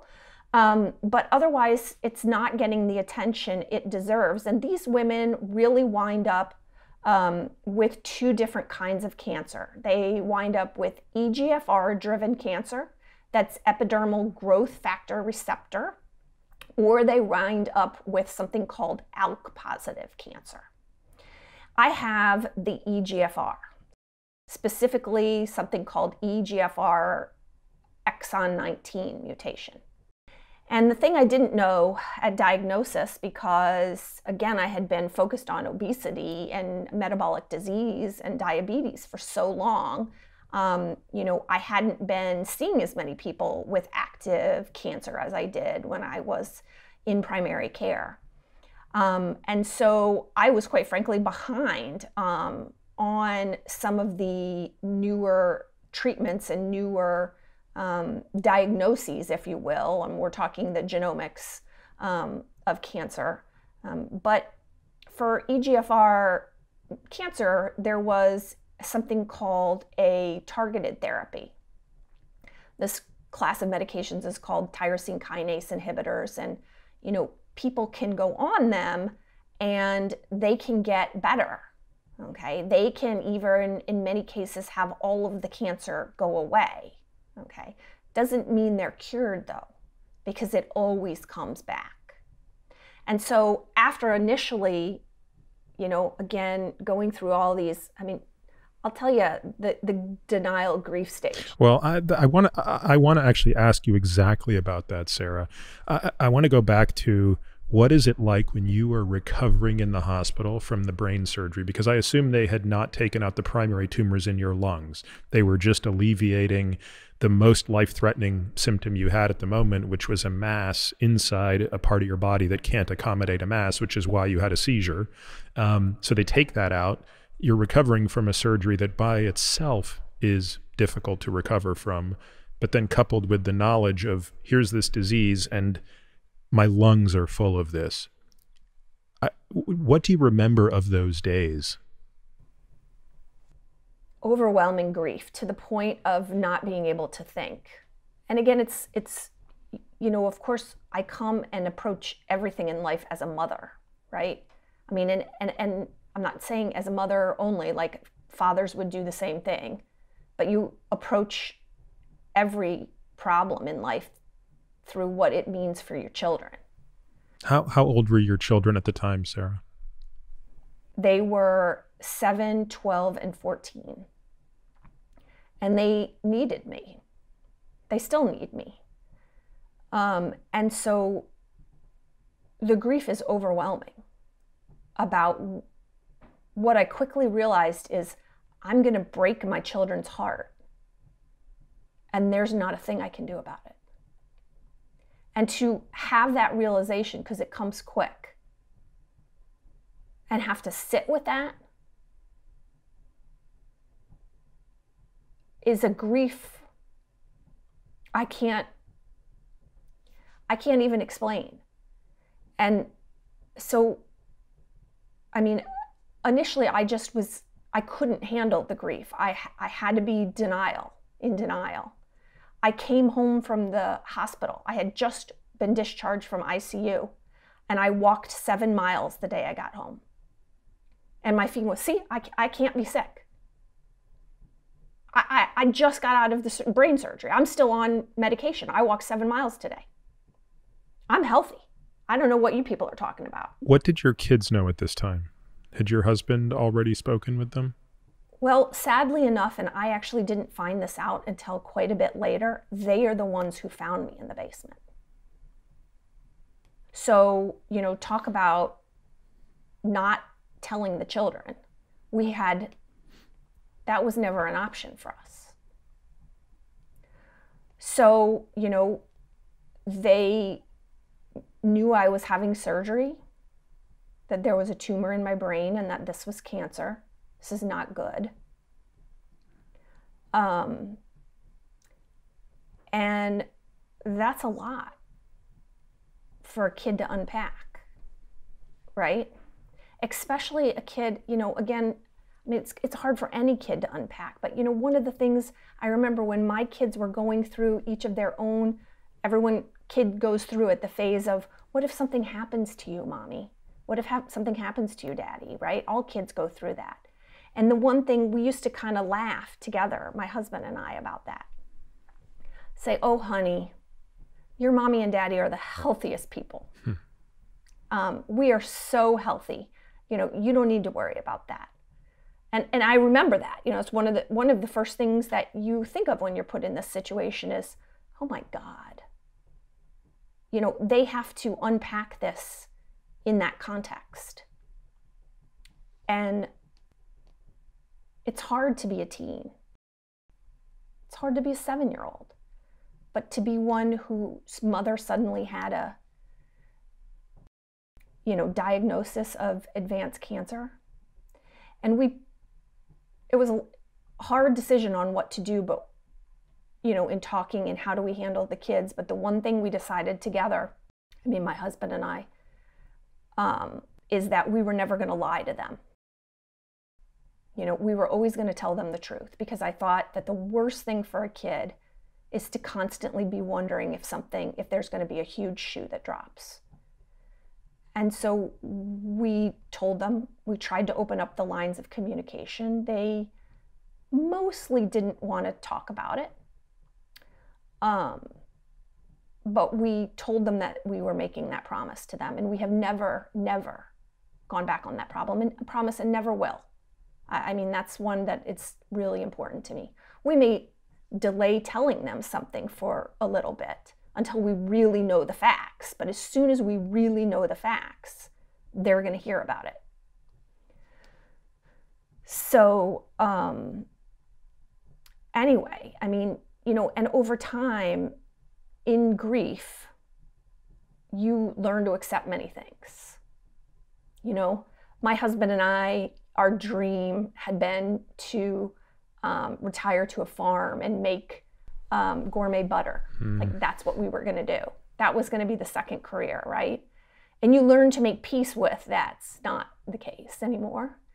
You know, our, our we always used to joke that the way we wanted to die was 95 years old on the way home from a skiing trip in a fiery car accident where our kids would not have to deal with the bodies, right? The cremation, but we wanted to make sure it was on the way one. home. Yeah. A twofer. It was going to be on the way home because we were going to be having fun up until that point. Um, and um, you know, you, so that's acceptance. You know, you're not going to retire. You're not going to have all these things, but you can't accept that you're not going to be a mom. Impossible. Now, at some point, I'm guessing kind of the problem solver in you started saying, like, hey, I, am going to learn as much as can be known about this. Um, and we're going to talk about this in the context of the asymmetry that exists. Um, I, I just had a discussion about this with, you know, we have a weekly meeting in our practice with all the providers and you know, we just had this weird situation recently where, you know, basically a, a patient of ours who has another physician uh, was kind of caught in the middle of a recommendation that turned out not to be the right recommendation. And, you know, we were able to get them a referral to somebody else who basically got them out of a very unnecessary surgery. And we were just sort of thinking, man, like, we're so glad that that patient was able to dodge that bullet. You know, they were going to have a surgery that they totally didn't need. Um, that's a very big surgery with lots of risks. And we realized like the asymmetry of knowledge in medicine is so overwhelming that it is it, it, it's it's it's not even just about money or education outside of medicine. Like a, a smart person still has a hard time digesting medical literature. Um, and I know, like I said, we're going to talk about this, but I, I, you know, you very quickly must have figured out, hey, I have this EGFR uh, 19 deletion. So we no longer talk about this as you have lung cancer, or you have adeno, or you have non-small cell. We're really going to refer to it by its mutation, and everything will come down to how do we treat that. How long was that process for you to say, I'm going to I don't know if this is the right word, but I'm going to partition my grief and my problem solving brains and I'll I'll do both of them, but I'll I'll you know I'll, I'll move back and forth. Pretty quick. It happened pretty quick, um, which is okay. You know, this is terminal, right? You have to come to to grasp at that. But terminal when, right? And what can I do to control the when? But when you say that, Sarah, did you really come to that realization so soon? Because technically, life is terminal. I mean, there's nobody listening to this podcast, watching this video who isn't going to die. So that's all terminal.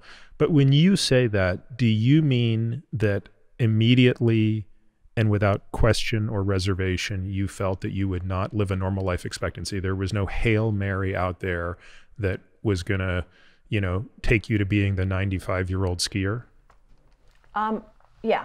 I mean, I, th- I think just the reading and understanding, although the advances that, that this was going to be terminal really soon, you know, in my life. And I was only 46 at the time.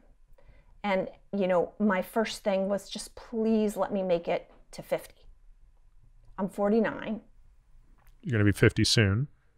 Yeah, I'm going to be 50 um, in the not too distant future. So, you know, that was like my first one was just like, okay, let's, let's, but right from the beginning, I'll tell you the when was 11 years. Okay. And, and that has not left. I just, I don't need to re- be 95. I can accept all those things that I'm going to miss out on by not growing old. I just need 11 years, which to everyone was unrealistic. But why 11 years? Because my youngest would be graduated. Uh, so, so immediately, my goal was I can't settle for less than 11 years. I have to make it to 11 years. And so in became that like my war cry 11 years, 11 years. I have to make it 11 years. And so, you know, it started, I mean, and, and that started me on a path of so much. So the first thing I thought in reading all the, I mean, read everything is I got to get this primary tumor out. You know, I'm considered inoperable, but we know that having this primary tumor here increases my risk for mutations. Okay, remember I said that the tyrosine kinase inhibitors or the TKIs, they work amazingly well, but only so long. You know, somewhere between eight and say, you know, on average, eight, and with the more um, advanced ones, you know, at the long end is like, you know, 24 to 30 months. Okay. Um, so that's not enough time. That doesn't get me to 11. so I was like, okay, you know, this is increasing the risk for mutation, which is how these develop um, resistance to the tyrosine kinase inhibitors. And, and remind me, Sarah, you because um, I remember you emailing me probably by August, and and starting to you know explain some of the details.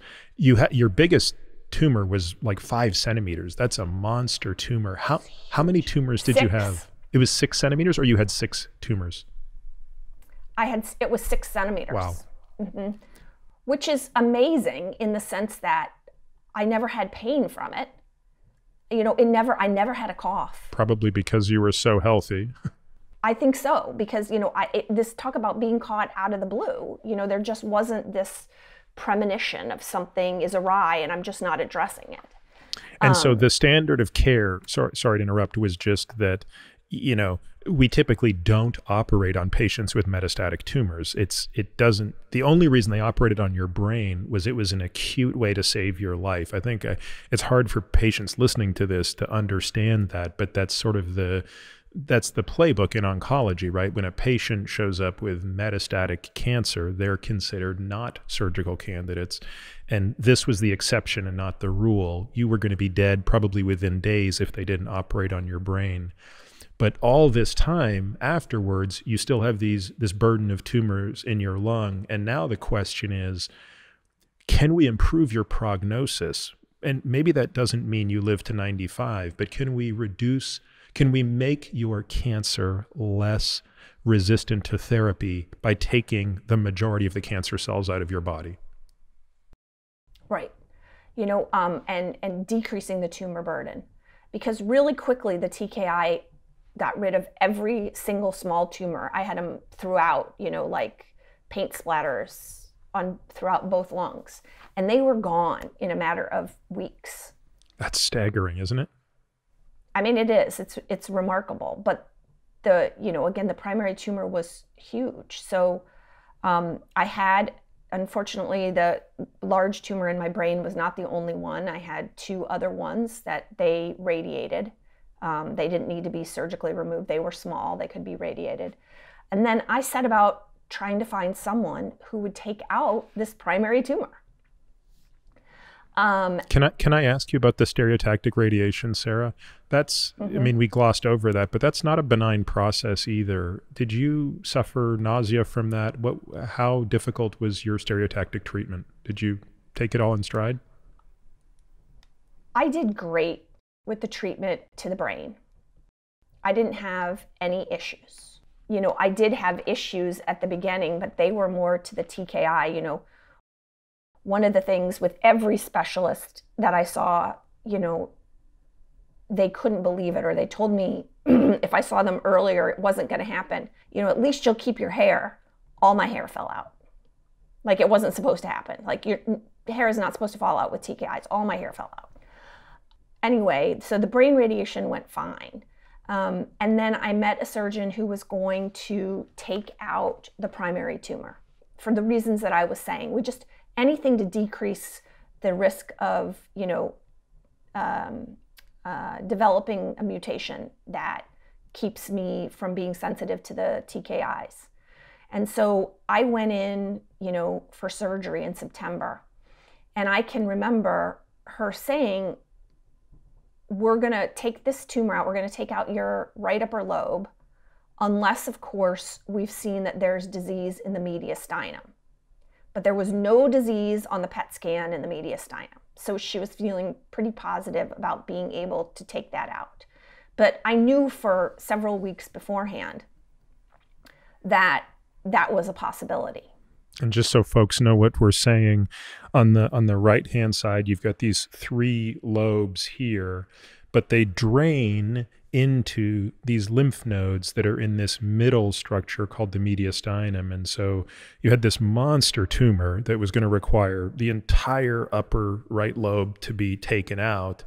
But if the surgeon felt that on visual inspection, at least, or maybe even sampling nodes, that any of those nodes had cancer, it was her opinion that this is really futile because now we know it's already escaped the lung. It doesn't matter. So, so you went into that surgery knowing you could wake up with a huge scar in your chest, chest tubes coming out, and the cancer is still in you, right? And that happened. Um, and that was, I, I mean, it was terrible. I mean, you know, uh, uh, I kept apparently, you know, under the influence. I, I mean, everyone told me I was so hysterical, screaming in the recovery room, I'm a mom. You can't let this happen to me. I'm a mom. That's all I kept saying. And I, of course, don't remember any of this, but they had to actually take me away, put me in a private room. And, and that was all uh, that I kept saying. And um, so, you know, I had to come home and, and learned to accept that. Um, I now was bald, and um, I was definitely fell into a deep depression, but at the same time, you know, I refused to completely give up. I mean, like, for example, I went back to work at the clinic the same month that I had brain surgery, you know, which sounds crazy. But this part of this whole process. And then, but after the surgery failure, I, I mean, I was, it was, that was terrible. Um, and then I didn't really recover back into my determined place until a really very specific moment. And that was just a couple of weeks before my diagnosis.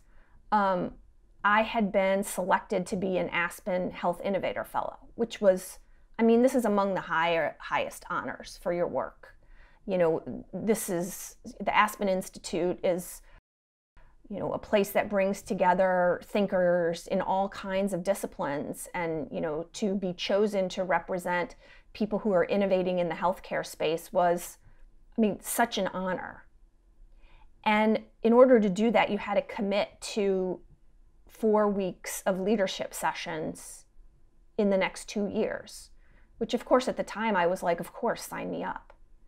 But as that first session inched closer, it was in November,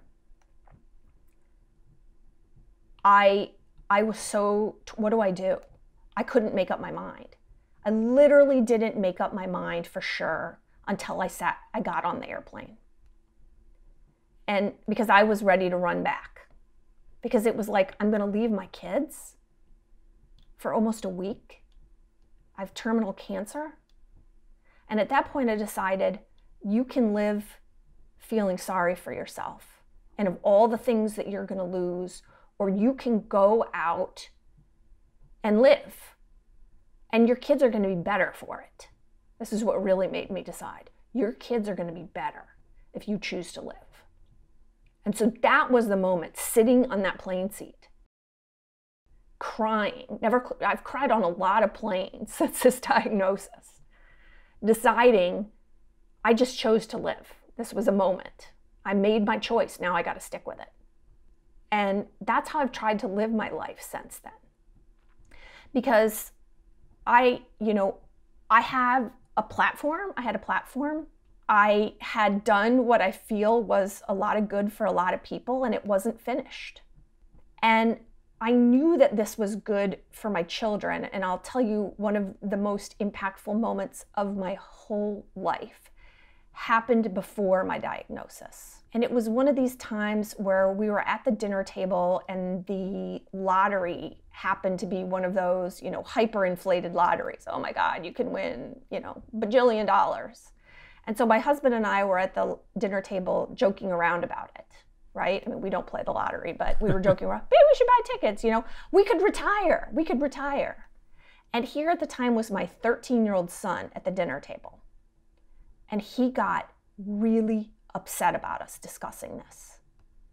You can't retire, mom. You're doing so much good for the world. How could you even think of it?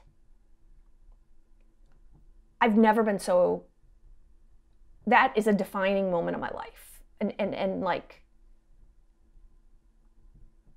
I, was like, "Oh my god." You know, at the time I just I was so taken aback by that.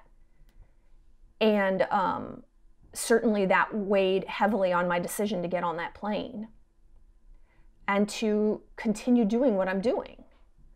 Um, and what I'm doing has morphed since my cancer diagnosis into an even greater focus on health equity because of my experience as a cancer patient and someone who is privileged. Because I'll tell you, you have a much greater chance of surviving cancer if you are uh, has privilege. Uh, you know one of the lucky ones. And i didn't realize the stark differences until i became a patient i want to talk about that in some detail sarah but i, I want to also understand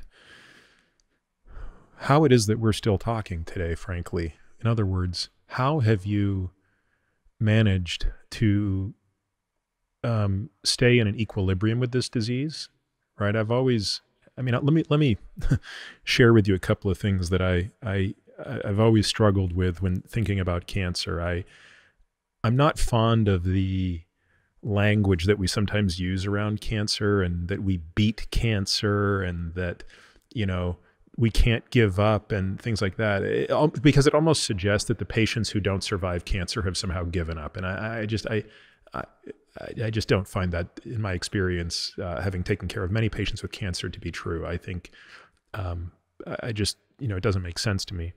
Um, and i think the way that you said it and described it earlier makes the most sense which is basically finding a way to coexist with your cancer for as long as possible um, and you've exceeded all odds.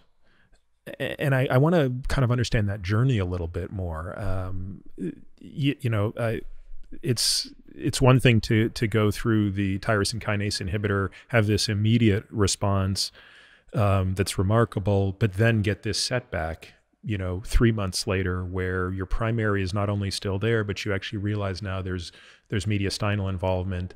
Um, which basically means there's no question you have cancer cells elsewhere in your body. Um, it's not like they stop when they get to the lymph nodes. So, pick the story up for us in terms of what your ongoing treatment has been like. Like, how have you stayed in this in this state of uh, of equilibrium, so to speak? Yeah. So, so I haven't. Okay.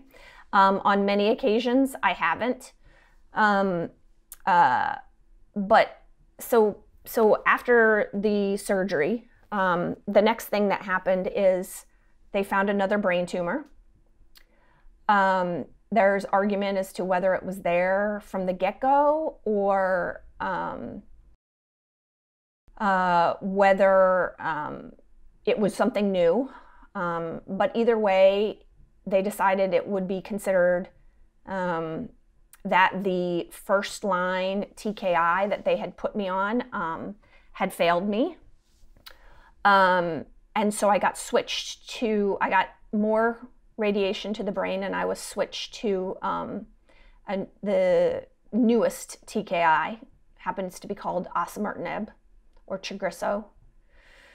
I was put on that in November, um, right before I went off for my first Aspen Leadership Conference. Um, and I had decided that I do not accept being a sitting duck because what the cancer world then, you know, wants is for a patient like me to just sit and wait for the cancer to come back. Right? That's what you're doing. You know it's coming back. There's no question about it. And you know it's coming back soon. And, you know, you are just waiting. And I couldn't accept that as a mother. I think I could accept it as a human, but I couldn't accept it as a mother. And so I went on a journey to find someone who could treat me in the most aggressive way possible, who shared my view that sitting around and waiting for this to come back was totally unacceptable. I traveled the country.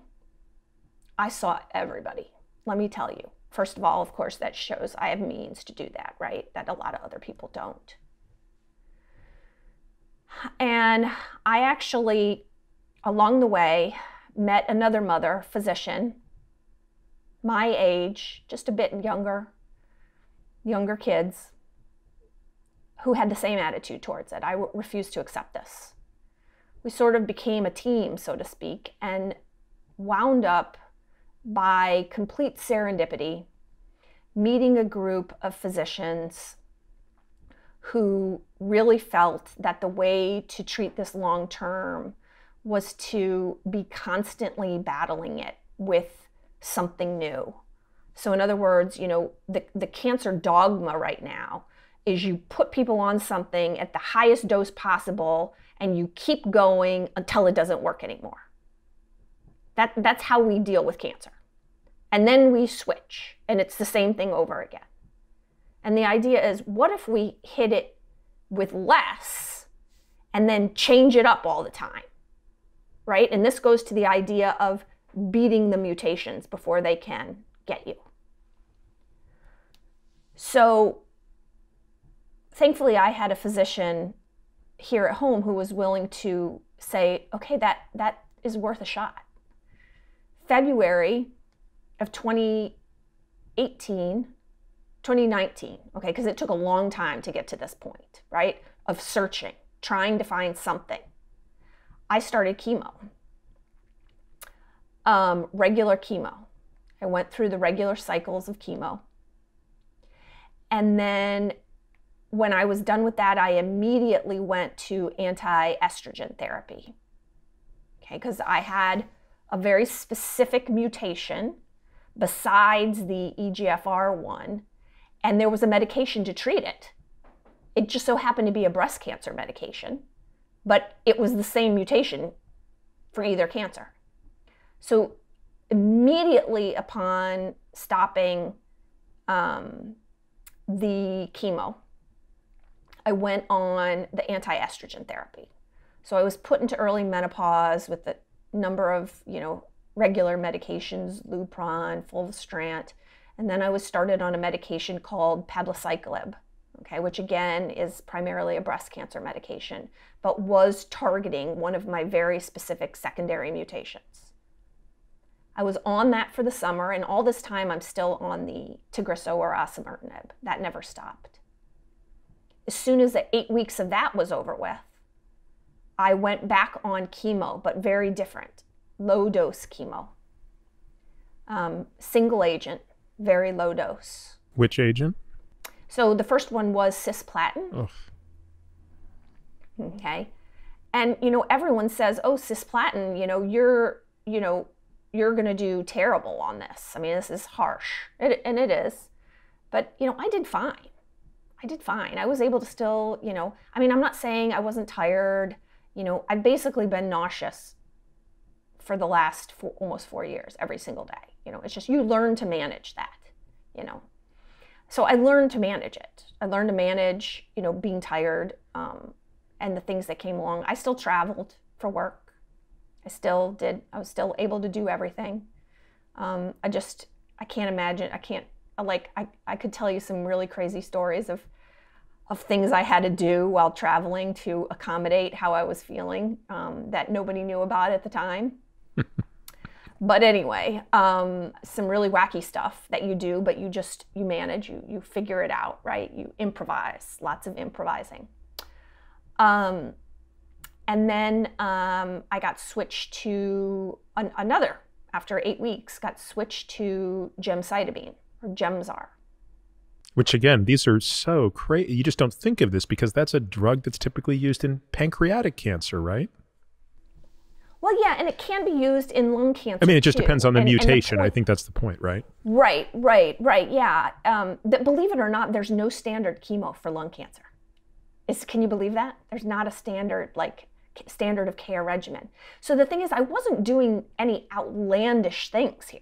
Okay, these are all treatments for lung cancer.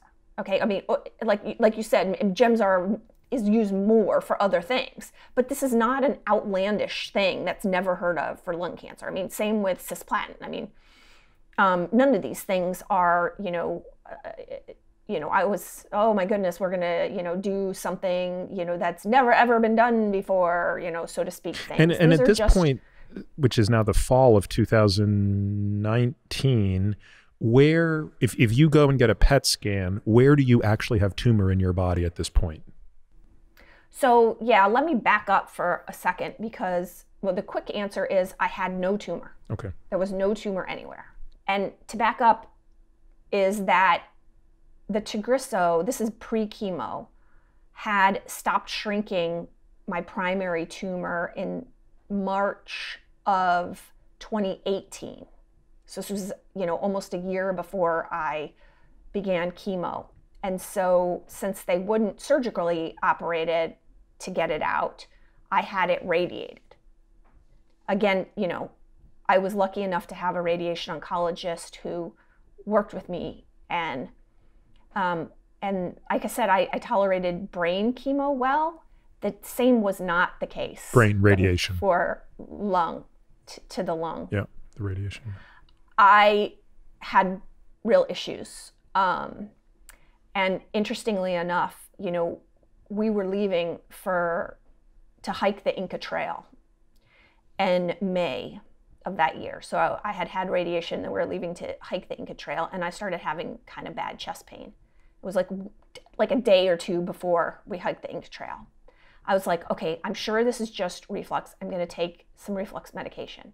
And then I was like, look, okay, if it's not, if it's more, you know, what a better place to die than surrounded by your family, you know, on the Inca Trail and all the beauties of the Andes Mountains. Okay, I can accept this. Let's go. You know, I didn't even tell anyone. I was like going forward, and um, did that successfully. You know, um, it was great. My eight-year-old tootling along. You know, she was always the fastest of any of us. We went with our friends, and um, uh, I mean, amazing experience. I just have to say that it's those things, especially if you can get kids in it. I'll never forget that when we all got back and we went and checked into the JW because we were like, give me a shower, a very clean bed, and a spa. My middle child, my daughter, said to all of the adults, I developed my third eye during that. Mm. It was one of those experiences. Wow. Like you don't normally think you're going to get that out of a, you know, she was what 14 at the time. You know, that's that we were all like, "What?" but anyway, so it was a super special time. I was still having pain, and then my rest of my family flew home. I actually had to fly um, from Lisbon to Switzerland because I had a conference I had to go to. And at that conference, things started to get really bad. Um, I made it through, but you know, not with again some funny stories that, of how I accommodated to it because I was having crushing pain. Got home, turns out, of course, I had some rare, I had this rare complication where it actually impacted my bones. And my radiation oncologist said, the only treatment for this is to put you on long term opioid therapy. Mm. And I was like, oh, no thanks, I will accommodate. there was no way I was doing that. So I had to get through that, which was a which that was a little bit of a saga. But anyway, I had no disease then after that radiation, none. And so I was in this state, they call it NAD or NED, excuse me, no evidence of disease. I like to always say NED, right? I, had, I was NED for a really long time. I had no evidence of disease. It was a great place to be, right? Still on treatment, still trying to do everything to keep this from coming back, and started Gemzar. And, you know, everybody had said all these terrible things about cisplatin, and Gemzar was 10 times worse. Everyone was like, you'll be a breeze. Gemzar is a breeze compared to cisplatin. You, you are really the exact opposite of everybody because, yeah, I mean, we used I- to tell I- yeah. patients Gemzar is, it's non chemo. Yeah. yeah. Everybody tolerates Gemzar. I can still remember sitting because I was too, feeling too crappy to drive. My mother driving to pick me up to take me to chemo one day, sitting on my front porch and throwing up in a plant on the way to chemo. I, there are nutrients in there, Sarah, that are very good for the plant. So I wouldn't, I wouldn't That's feel bad right. about that. That's very, it's a very healthy part of the carbon cycle, I'm sure. But I was determined to, you know, keep on. I was really close to getting switched to Taxol, which, you know, I'm like, this is gonna happen. That'll be better. Um, and um, so then had to take another trip um, for another meeting, and had lots of friends there. And I can remember them standing behind me after we had eaten, and they were pushing me up this hill in San Francisco because I literally couldn't walk. And I kept thinking to myself, I'm a hypochondriac. This is just because I'm anemic, you know, whatever. Um, I was super short of breath. Um, but I'm like, okay, I, I had convinced myself I was making it all up in my mind. I fly back from that trip and the very next morning head in for chemo. And they immediately said, oh my God, no chemo. You know, everything is a mess. My, I, you know, my liver numbers were through the roof. My kidney numbers were, you know, high. Um, I had pancytopenia so bad. Um, How, how anemic were you, Sarah? so I was like six at this point. Okay. I mean, it was bad. It, you know, really bad. The low sixes at this point. Right. And just so the listener understands, yeah, the, the, the normal would be 13 or 14 of a hemoglobin and you're six. So that's really low. Um, and your platelets were how low? 23. Which means you basically don't have the ability to form a single clot. Right. Uh, you know, I was a disaster. And the funny thing is, I was still up and doing okay. You know what I mean? I was tired. I was shortness of breath with activity, but I was doing okay. And they sent me home. And I was like, "Uh, that doesn't seem right. Am I crazy that I shouldn't be home? So, of course, I call some of my other physician friends. Aha, privilege, right? Because I was getting sent home. hmm And they're like, oh my God, we're admitting you right now. Right? So I actually get a backdoor admission to the hospital and a complete workup starting right then. You know, I had to be, I had to have a thoracentesis, drained a whole bunch from my lungs. That was unknown when I got sent home. So you had tons of fluid around your lungs. That's Tons of fluid around my shortness of breath. Yeah. Um, And once I was admitted, I was promptly transferred to ICU. Things were going downhill. I had to be put on BiPAP, so I had multi-organ failure. I, you know, had respiratory failure, liver failure, kidney failure. I was a big failure. Okay, everything was bad. And was this believed to be the result of uh, your body's response to the tumor or the chemo? It was the Gemzar. Yeah. So I got taken care of in the hospital.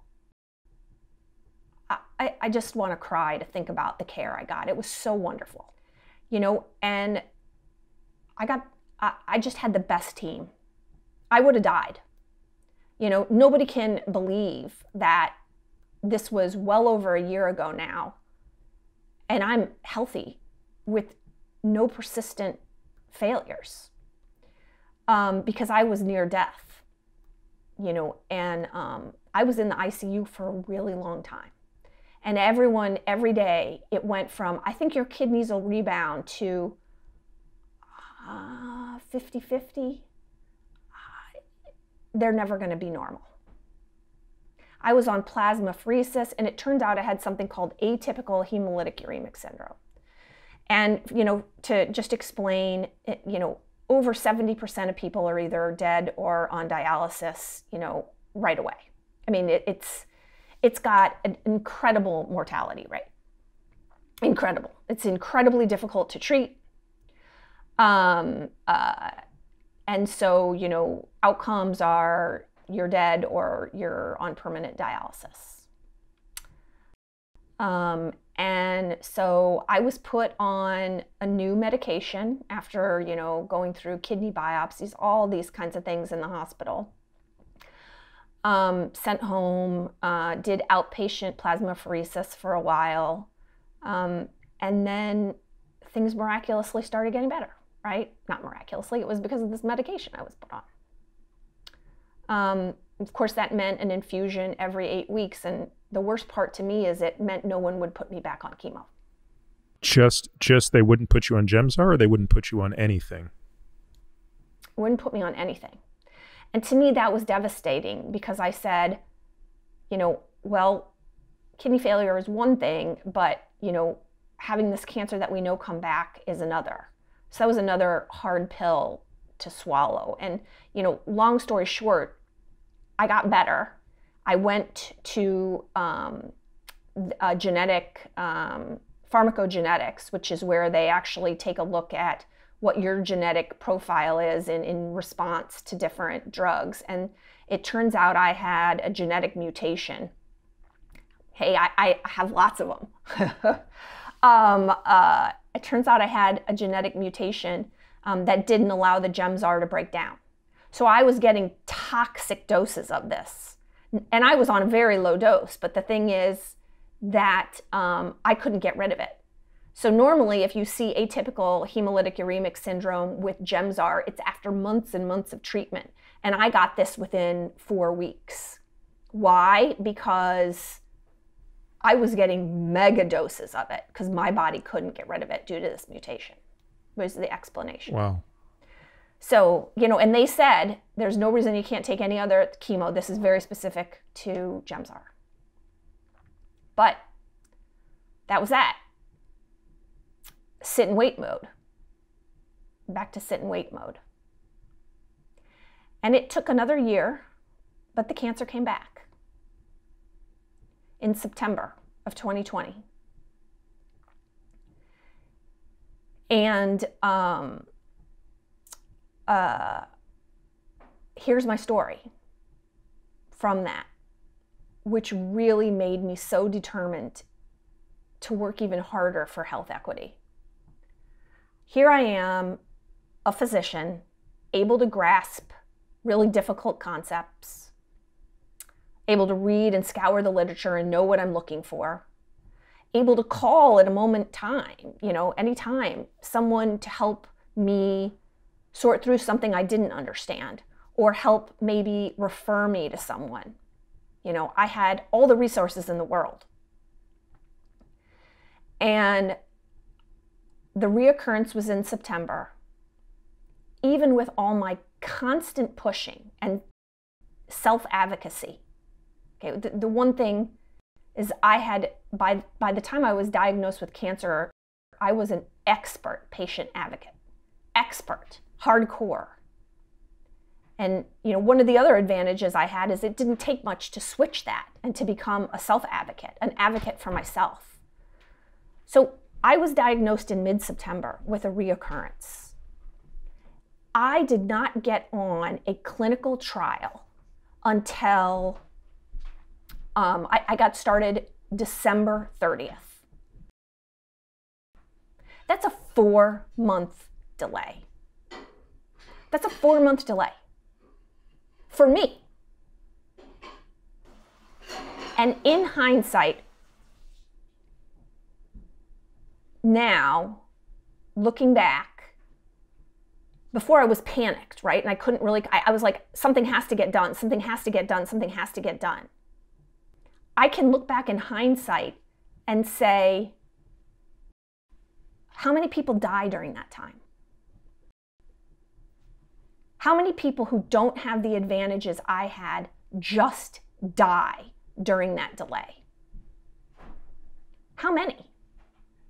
I, I shudder and I, I just want to cry. And what I've done is I've reached out to other cancer patients to say, has anyone else been in this situation? And I find out it happens all of the time.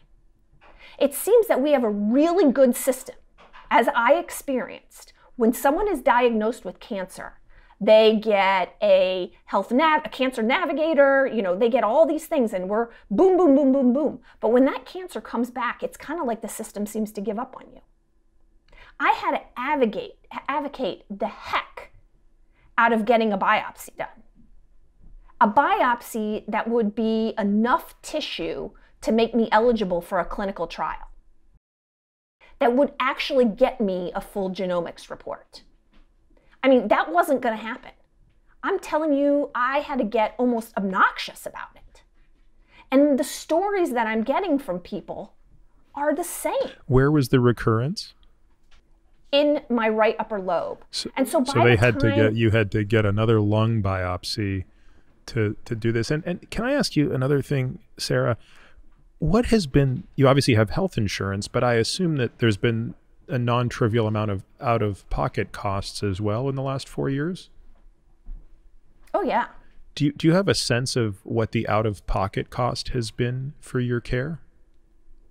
Tens of thousands of dollars which obviously speaks to another challenge. Um, I don't know if this is still true, but it certainly was true at one point that the greatest source of personal bankruptcy in the United States is healthcare, uh, an inability to pay health healthcare costs. And a cancer diagnosis is so high up there. I, I would have to believe that cancer is the leading subset of that as well. So, you know, it just, so now I'm like, especially when I got feedback that I'm not alone in this. It wasn't just me, you know. And again, I always keep saying in the backdrop of I am um, uh, one of the privileged, and and I was put in this situation. And the fact of the matter is, by the time the reoccurrence was diagnosed, to the time I finally got treated, I had progressed so much that I had compression in my bronchus. I couldn't get up a flight of stairs without desaturating. I mean, this all just happened. I was in horrible shape, which, of course, again, and, and remember, I'm starting out, you know, before my diagnosis in general, I was so healthy. And so it just is, which gives me an advantage in this, which gives me a significant advantage in this. But it goes back to that question of how many people just die. Sarah, you, are very um, realistic about the fact that your time on this earth is less than it should be, right? Uh, a 49 year old, otherwise healthy person who's done all the, you know, done the right things for their health should have another 40 years on this planet and at least statistically speaking, that's that's not doesn't seem likely. It suggests to me that you're very cognizant of how you spend your time. Uh, so, should take a moment to thank you for spending a couple hours with me here. But how do you now think about the time that you allocate to your family, to your work in the diabetes community, and now to this third important pillar to you, which is cancer advocacy? How, how are you? How are you? How are you managing that? And and how do you how do you think about how to even balance that? Because I think time is the most important currency. I think everybody can appreciate that in a vague sense. It is the great equalizer. Um, but of course, most of us can't appreciate it the way you can because you have a real visceral appreciation for it that comes exactly with this type of an illness. Um, and so, therefore, I think that your appreciation for the balancing act of what you described earlier, which is living your life to the fullest, regardless of its duration, that's your legacy. That's what your kids are going to remember about their mom.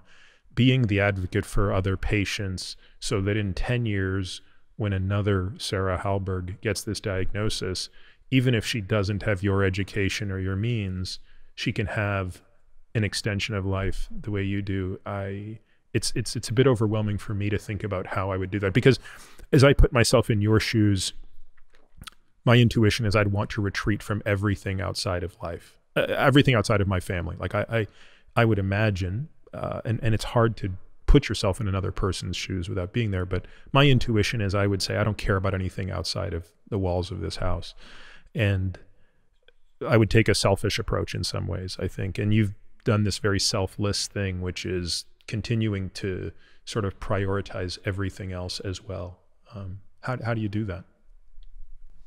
Well, a couple of things. You know, number one, believe it or not, originally it was it was actually hard to be around my kids when I was so deep in grief because and that sounds crazy, right? That sounds counterintuitive, but they reminded me of everything I was going to lose, right? They were the they were what I didn't want to lose. And so it was challenging.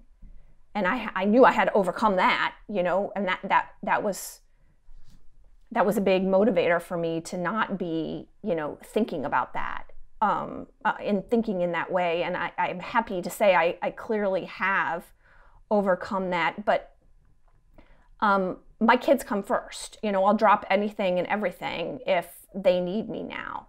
But I also think, again, and I go back to sort of what I alluded to before, they need to see me um, not letting, not getting knocked out by the stressors and bad things in life, you know? I mean, bad things happen to good people. You know, I, like I said, there's been a pivot in every part of my career based on anger. And I certainly am angry about this. But what do you do with it? That's that's what's going to be the important question in life. You can take anger, you can take all these things and you can get lost and buried in it. Okay? Or you can try to turn it into, you know, something else. And I have to say, I haven't become as big a cancer advocate yet. And I'm working on it. But the reason for that is, and this was a question I had to ask myself a long time ago, which is, shouldn't you be a cancer advocate now? Was, but I have a platform for diabetes. And damn it, that's important too. All these people suffering from this is important. So I can't just say, I'm going to switch away from a platform that I have to one where I don't yet. It doesn't mean I'm ignoring it, but it's like it makes me want to work more again for health equity because it spans both, right? It has to do with both diabetes um, and cancer, you know, um, and and that is so important. So yeah, how I spend my time is really critical. And I want to say it's not like I'm. I don't want to paint the picture that oh my gosh, I'm the superwoman. I have a terminal c- cancer and yay, life is great. No. You know, when people ask how I'm doing, okay. if I say okay, you know I'm doing okay. There's never good or never great. Okay? And that's just where I live right now. I'm definitely not sitting around and feeling sorry for myself. Okay? Definitely not not enjoying things in life. But great is hard to think about. You know, great is hard to think about now.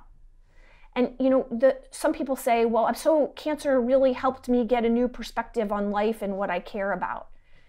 And you know, I'm happy to say I don't know that I got that. Okay? I mean, having cancer sucks. And I'm still mad about it. And you know, sometimes I have to sit and have a pity party every once in a while because the fact of the matter is I loved my life pre-cancer.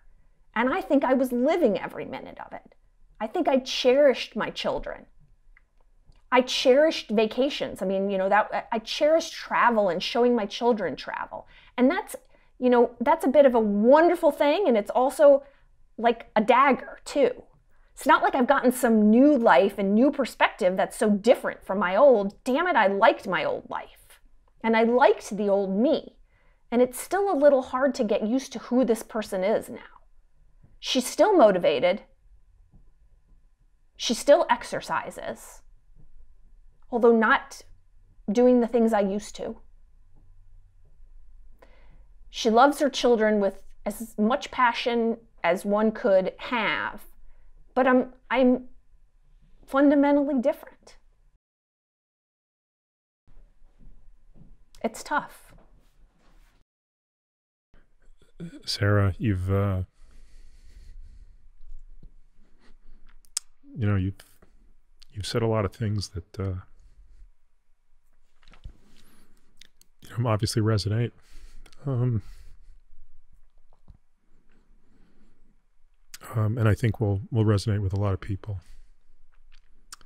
So I, um, you know, I want to I want to thank you from the bottom of my heart, and uh, certainly wish you the best. Thanks I appreciate it. It's uh, it's been it's been great knowing you through this journey as well. You are, uh, as many of your colleagues uh, have, have have undoubtedly told you, and we've certainly discussed it behind your back. Uh, you are an inspiration, and nobody wants to hear that because nobody wants to be the inspiration. You just want to be the normal person, but uh, you are an inspiration. normal person, yeah. Yeah. Well, thank you for setting aside time. Thank you. Yeah, and I mean, I thank you so much for having me on. I mean, believe it or not, this is the first time I've told my story, you know, um, in any way, shape, or form. So I have been kind of preparing for this, um, and I, I'm glad I did it.